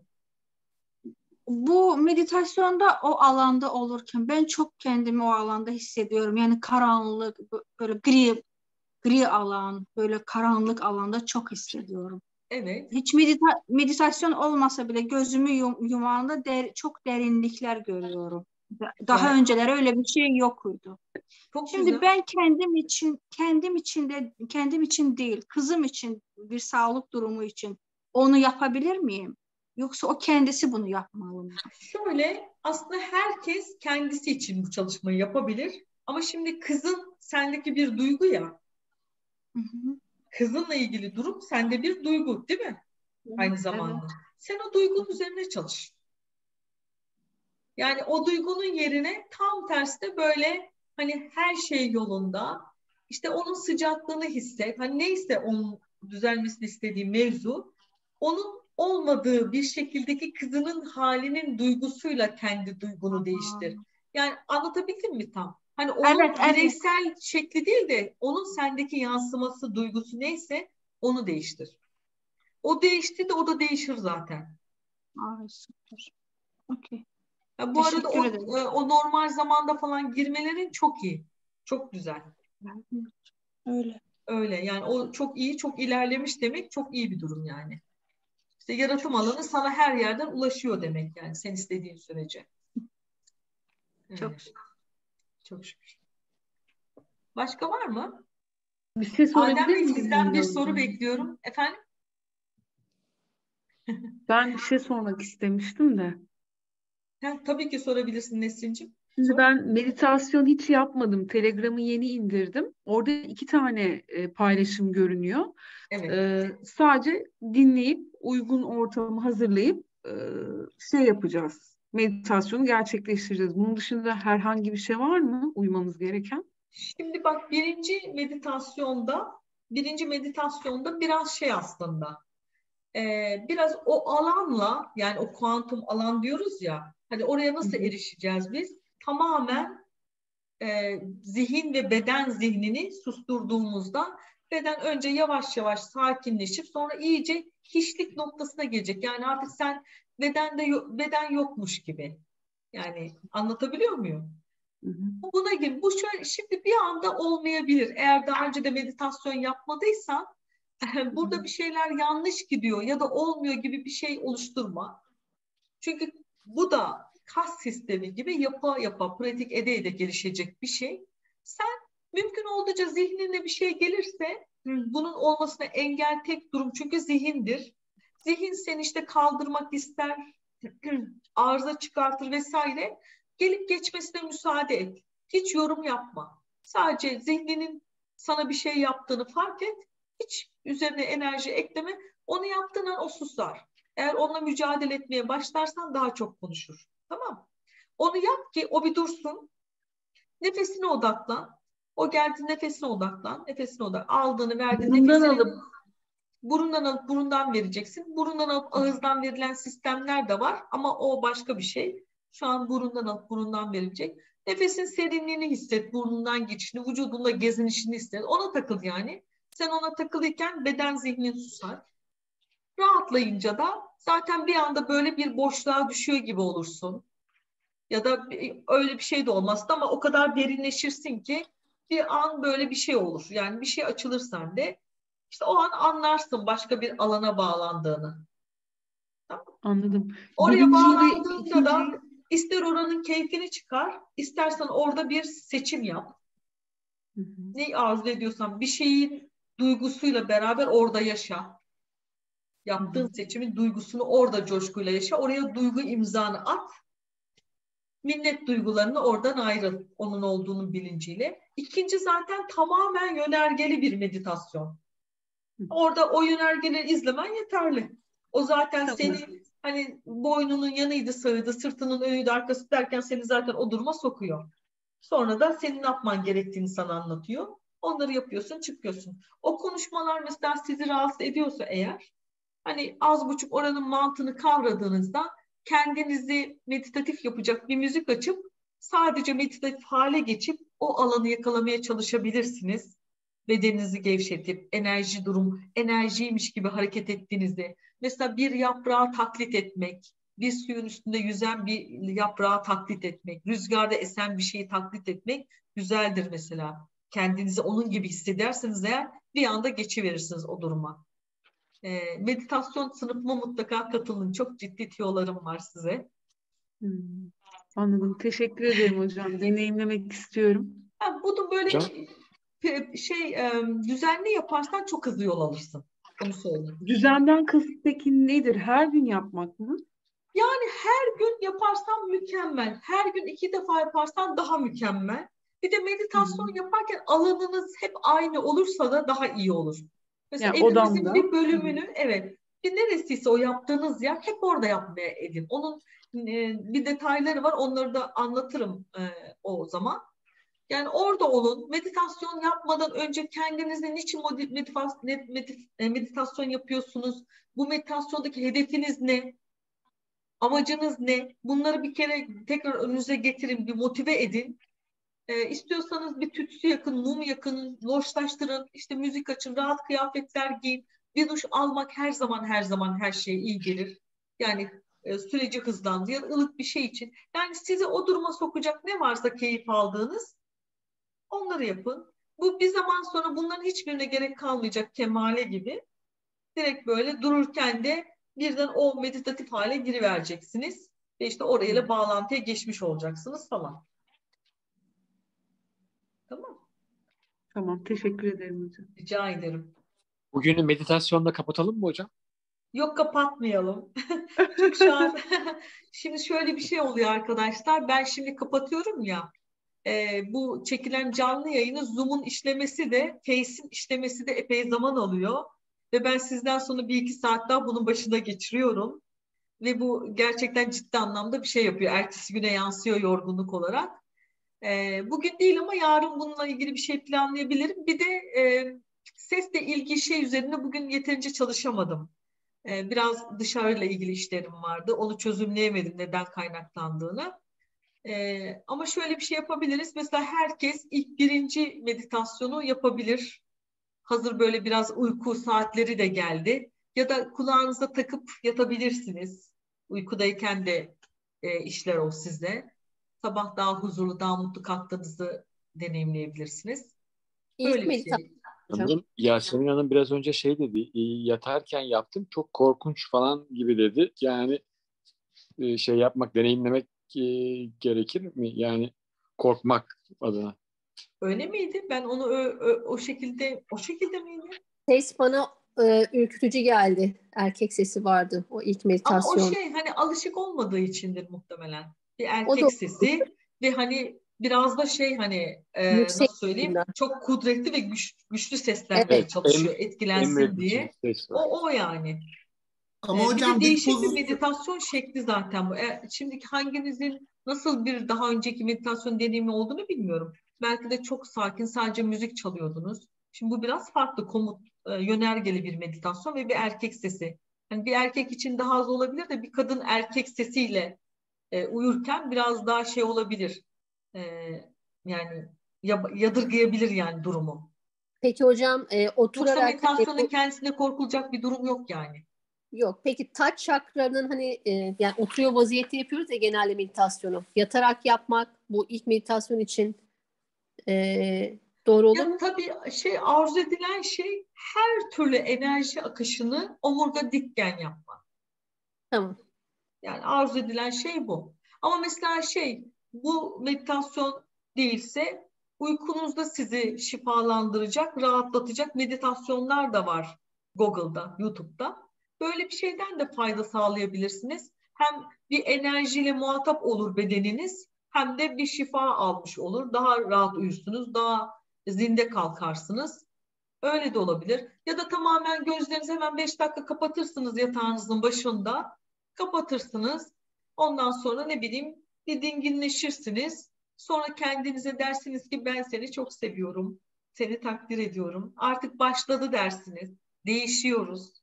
Artık her şeyden kurtulacağız ve yeni bir hayat çiziyoruz falan gibi e, böyle motive edici şeyler söyleyebilirsiniz kendinize ki öyle. Öyle değil mi? Çıktınız yola değil mi?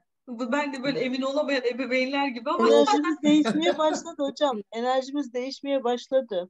Evet çünkü hani her Daha gün bir şey alıyoruz. Yani o o ne demek? İşte o bilgi hani bir bilgi alıyoruz da bir şey değişiyor ya. Aslında değişiyor. Burada marifet onun devamını da getirebilmekte. E, o da hepimizin kendi yolculuğu artık o nokta. Olay bu. seyahat mi, şefaat mi? Herhalde bu seyahatle o şefaate ulaşacağız herhalde. Ee, tam anlayamadım ben. Yanlış bir şey söyleyeyim. Ya se- seyahat mi, şefaat mi e, diye sormuş ya Katip evet. diye. Evet. Ve bu seyahatle o şefaate ulaşacağız inşallah. Yani e, inşallah, umarım. Yani ümit ediyorum. İstenirse her şey mümkün. Yani sizin istemeniz önemli. Benim istemem önemli. İnşallah herkes istesin. İsteyince Hocam meditasyon sınıfı mı yap meditasyon sınıfı mı yapacaksınız? Anlamadım. Şimdi önce de. nefes yapacağım.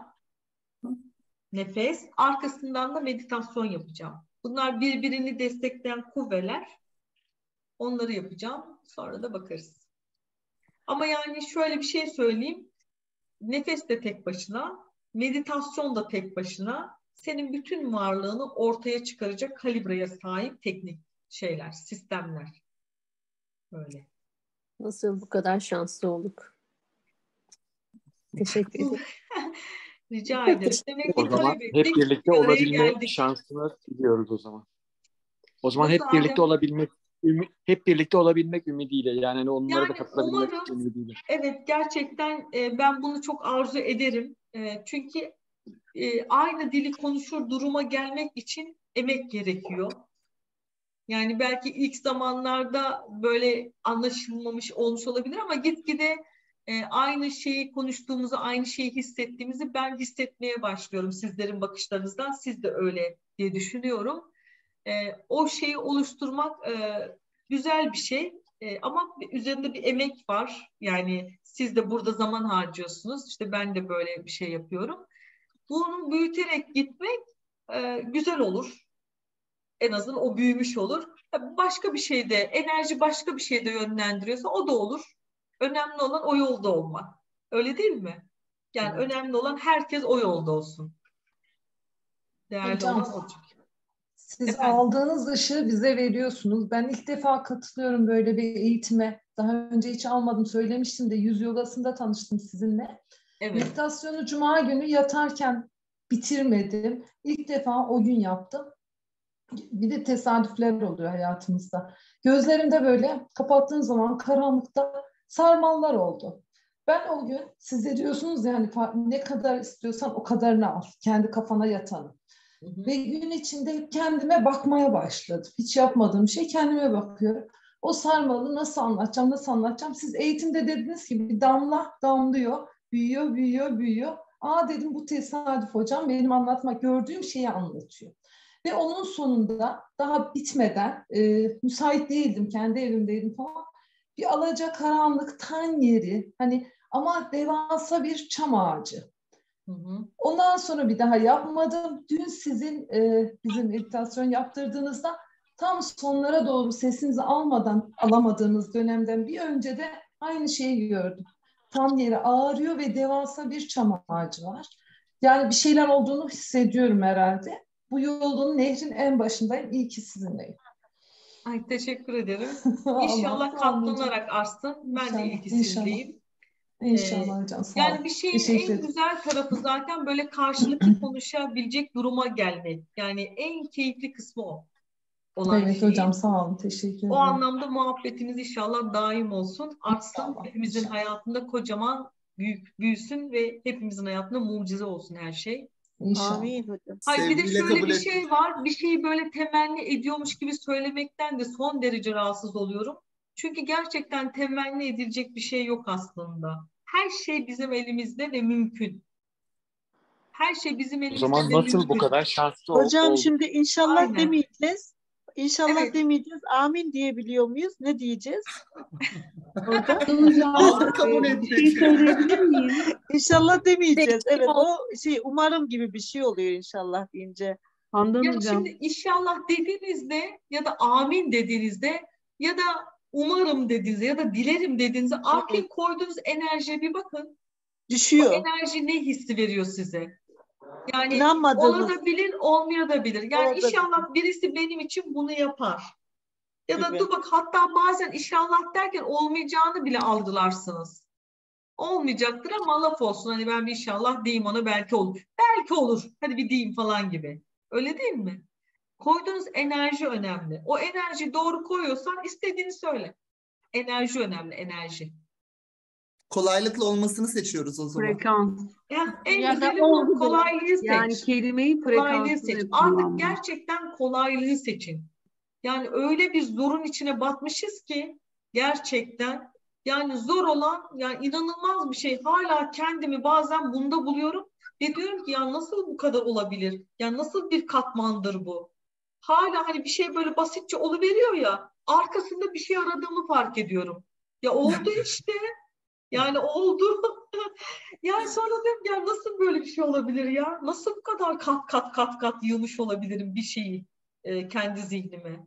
Yani gerçekten çok enteresan arkadaşlar. O yüzden kendinizi takip etmekten, gözlemlemekten, fark etmekten sakın vazgeçmeyin.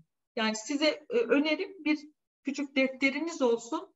Yani şu özellikle bu başladığınız yolda hani bir ana yola çıkana kadar diyeyim mutlaka mutlaka fark edin o fark ettiğinizin üzerinde çalışmak ufacık bir e, çalışma bile sizi başka bir enerjiye taşır. O enerji de sizin şurada vereceğiniz mücadeleyi kolaylaştırır. Yolunuzu açar. Anlatabiliyor muyum? Ben bunu çok ciddi herkese tavsiye ediyorum. Ya bu böyle olmasaydı o tarikatlar, o tepelere çıkmalar, insanlar şimdi atlıyor, başka ülkelere gidiyor, orada yıllarını geçiyor. Bunlar olabilir miydi? Yani demek ki burada bir disiplin gerekli. Bir disiplin olması gerekli. Yani o yüzden o disiplini bir kere kendinizin çok farklı olduğunuzu kabul edeceksiniz. Çünkü siz buradasınız. Başkaları da başka yerde olabilir ama siz buradasınız. Bilinç yolculuğundasınız. Bu nehre de girdiniz, paçaları sıvadınız. Siz herkesten farklısınız. Etrafınızda olan herkesten. O farkınızı hissederseniz kendinizi de böyle küçültmezsiniz artık. Bu böyle gezin anlamında da değil. Kimse için kendi haklarınızı açmayın. Alanınızı herkese açmayın. Kendi kıymetinizi bilin yani. Herkesin her dediğini kabul etmeyin. Herkesin hikayesine muhatap olmayın. Herkesin enerjisini almayın. Hiç kim enerjinizi koruyun, alanınızı koruyun, bilincinizi, zihninizi koruyun. Hatta bazen istemediğiniz şeyler mi konuşuluyor? Duymayın, dondurun burayı, mekanı terk edin. Bakın böyle bir ayet bile var. Direkt e, yaradan Peygamber Efendimiz'e diyor yani bu konuşuluyorsa o alanı terk et diyor. Hmm. Sizce niye diyor? Neden terk etsin ki peygamber alanı? Niye diyor? Bakın bir peygambere bile diyor ki kendini koru diyor. Yani ben tamam sen peygambersin ama sen de bir insan şeyinde yaratıldın. Etkilenebilirsin diyor yani. Mesela hocam başkalarının çekiştirilmesi, zanda bulunup iftira atılması gibi mi ortamlar? Ya da o negatifi hissettiğimiz ortamlar mı kastınız? Hepsi, hepsi. Biz şimdi yani yargının olduğu ortamlar mı? E, tabii onlar zaten hani o hiç olmayacağımız ortamlar ya da hiç Ama konuşulanları duymayacaksınız. Evet. E, tamam işte bak yaşarken onları fark ettiğinizde zaten nasıl şaşıracaksınız? Öyle her yer evet. yani. Çünkü biz toplum olarak kendimizi yargılayarak ifade ediyoruz. Evet hocam. Yargılayarak Ve kendimize de inanmıyoruz. E, hani depremle ilgili ki. ben bahsetmiştim ya size. Evet. Orada teslimiyetimi korudum ve bana arkadaşım diyor ki böyle konuşmamalısın sen. Konuşmamalısın böyle. Kaç insanla konuştum böyle de, demedi. Yani senin farklısın ya orada. Çekiyor aşağıya doğru. Öyle. Öyle. Şimdi ama o arkadaşımla da bir samimiyetim var. Şimdi dediklerinizi e, okumaya çalıştığımda nasıl bir e, yönlendirme yapmalıyım diyorum. Yani şimdi hayır hayır yani, başkasının hayatına hiçbir şekilde yönlendirme yapmaya Hayır o bana o bana soruyor ha, ya. O sana o öyle bir şey dediğini bilmiyorum de. Bilmiyorum. Bilmiyorum yani. Bir şey açıklamak, bir şey için anlatmak. Onun bilinç seviyesi o noktaya gelmediyse zaten bilmiyorum demek en iyisidir. Çok güzel evet bir farkındalık Bilmiyorum kazandım. değil. Hani Doktor J değiş demiş ya zihne bir şey geldiğinde ya da bir şey olduğunda. Ben bu konuyla ilgili bir fikrim yok sana hani söyleyebileceğim. Bu konuyu bilmiyorum. Yeterince bilmiyorum de. Biliyorsan da bilmiyorum de. En azından hmm. kendini korumuş ol. Evet, ben biraz açıklama yapıp hani onlar da böyle neşeyi tadıyoruz ya onlar Hayır, da sen kendi diye. yaşam şeklinle kendi duruşunla onlara ilham ol. Bir şey anlatarak değil. Onlar hazır olduklarında sana sorarlar. Sen de o enerjiyi hissedersin. Yani ne kadar verebileceğini. Ama daha hiçbir başlangıç yapmamışlar. Daha hani eleştiri boyutundalar. Hadi canım sen de. E öyleyse bu nasıl böyle? E öyleyse niçin böyle? Sen boş ver ben çok huzurluyum de. Ben bir şeye katıldım. O da desin sana sen ne yapıyorsun? Bir yere mi gidiyorsun? Bir kitap mı okudun? Bir kursa mı gittin? Başka bir şey mi var? Evet. İstersen sen de bir de. Al bunu oku falan. Anlatabiliyor muyum? Bugün öyle bahsettim katıldığımdan falan. Bu sefer kendi sorunlarını anlatıp bunu nasıl yorumlamalıyız falan demeye başladılar. Ama Her şey hayatın... öğrenecek şey belli. Evet. Bunu evet. bak bunu ben bir kere daha söylüyorum arkadaşlar. Sakın kimseye sorununuzu, derdinizi anlatıp da ben şimdi burada ne yapmalıyım demeyin. Yani gerçekten böyle hani o konuda inci, incinmiş hissetmemeniz için bir şeyler söylemeye çalışıyorum yazan arkadaşlara. Ama bu işin doğrusu bu. Neden biliyor musunuz? Başka birinin size doğru diye gösterdiği şey senin için doğru olamaz. O zaman onun doğrusu nedir? Şimdi gördünüz işte bu kalıpta ne varsa ondan söylüyor insanlar değil mi? Bir de onun doğrusu ne oluyor? Bu düzenin doğrusu oluyor. Ama biz şimdi ne diyoruz mesela? Bu kalıptan çıkalım enerjimize bir bakalım diyoruz. Yani enerji, bu his ne diyor? Onu onu ona öncelik verelim. Onun konuşmasını müsaade edelim ki o bizle konuşsun. Bir daha konuşalım. O daha çok konuşsun. Sonra biz onunla konuşmaya başlayalım. onu tekrar e, güçlendirelim. O da bir kas sistemi gibi. Sen istedikçe o da isteyecek seninle muhatap olmayı. Muhatap oldukça da söyleyecek ve onun söylediği şey seni mutlu eden şey olacak her zaman. O olan şey başkasını mutsuz edebilir ama seni mutlu edecek. Sezgi böyle bir şey. Senin çünkü o büyük e, özün, o büyük varlığın senin için doğru olan şeyi getirir. O an o kötü bile olsa o senin için doğrudur. Senin bilinç atlamanı sağlar, yol almanı sağlar. Sonunda seni mutlu edecek yolu gösterir. Yani o senin için doğrudur. O yüzden başkalarına soru sorduğunuzda bir de o size bilinç olarak hiçbir katkı sağlamaz. Onun verdiği Yok hocam tam tersi. Olmaz. O, Yok senin için o, söylemiyorum. Yani senden bak şimdi sen o konuyu açtın ya. Demek ki hı. burada bir şey var. O Yok, farkındalar e, bir değişimin. Bu sefer şimdi bendeki e, daha huzura geçiş e, çok şükür yani o yansımaya başlayınca ya işte Nesrin bugün velimden şöyle öğretmen, kendim de öğretmenim. Şöyle bir şikayet, şöyle bir şey oluştu. Ya neden ben bunu yaşıyorum? Modum düştü. Ben söylemedim ama söylemediğim söz bana söylendi deyince biraz düşünüp dedim ki sen ne yaptın acaba? Hani hayatına yansıyan bir şey bu. Sen oraya nasıl bir enerji? Yani bununla konuşmaya başlayınca şöyle bir düşünmeye başlıyor aslında hani bu noktada diyorum ki hani siz diyorsunuz ya o bebeği saklayın, özenle şey yapın. Dediğiniz gibi herhalde çok da ıı, zamanını mı beklemek lazım? Yani duramıyorum da böyle. Hani ona hani sen de gel bak Dur, böyle işte fark şekilde o an işte bu eğitimlere katıl şöyle yap ama yani, bir kere söylüyorum ve bırakıyorum yani fazlası okay. çünkü onun alanı o, o yaptığın alanı, şey senin enerjinden bir şey çalmıyorsa okey. Çalmadı. Bunu, bunu e, kendine tamamen hani kendine tamamen dürüst ve farkında olarak fark edip onun gerçekten enerji olarak senden bir şey algılamadığını hissediyorsan o noktaya kadar tabii ki kurabilirsin. Hiç de konuşmayacak değilsin yani. Evet önceden oluyordu o alma enerji olayı e, dün yaptık ya, dün ya da ondan önceki gün derste ciddi bir farkındalık kazandım. Ondan sonra daha farklı oldu. Çok sevindim. Yani o enerjiyi verdiğim yerden toplayabilmeyi artık onu böyle şey yapıyorum. Nereye dağıtmışım enerjiyi şöyle kendime doğru bir imajinasyon yapıp onu çekmeye çalışıyorum. Bak bu Alanımı şeyde koruyorum. mesela oraya koyduğumuz meditasyonlarda bu sunağı bırakma olayı var ya. Mesela ya orada da talep edebilirsiniz. Şeyi. Evet şu ana kadar hani bu hayatımda e, kendi varlığımın büyüklüğünden nerelerde pa- parça bıraktıysam, nerelerde bir duygum varsa, enerjim varsa kalan, hepsi benim hocam. benim varlığımda bir bütünleşsin. Bunu benim için yap diye oraya bırakabilirsiniz mesela. Evet.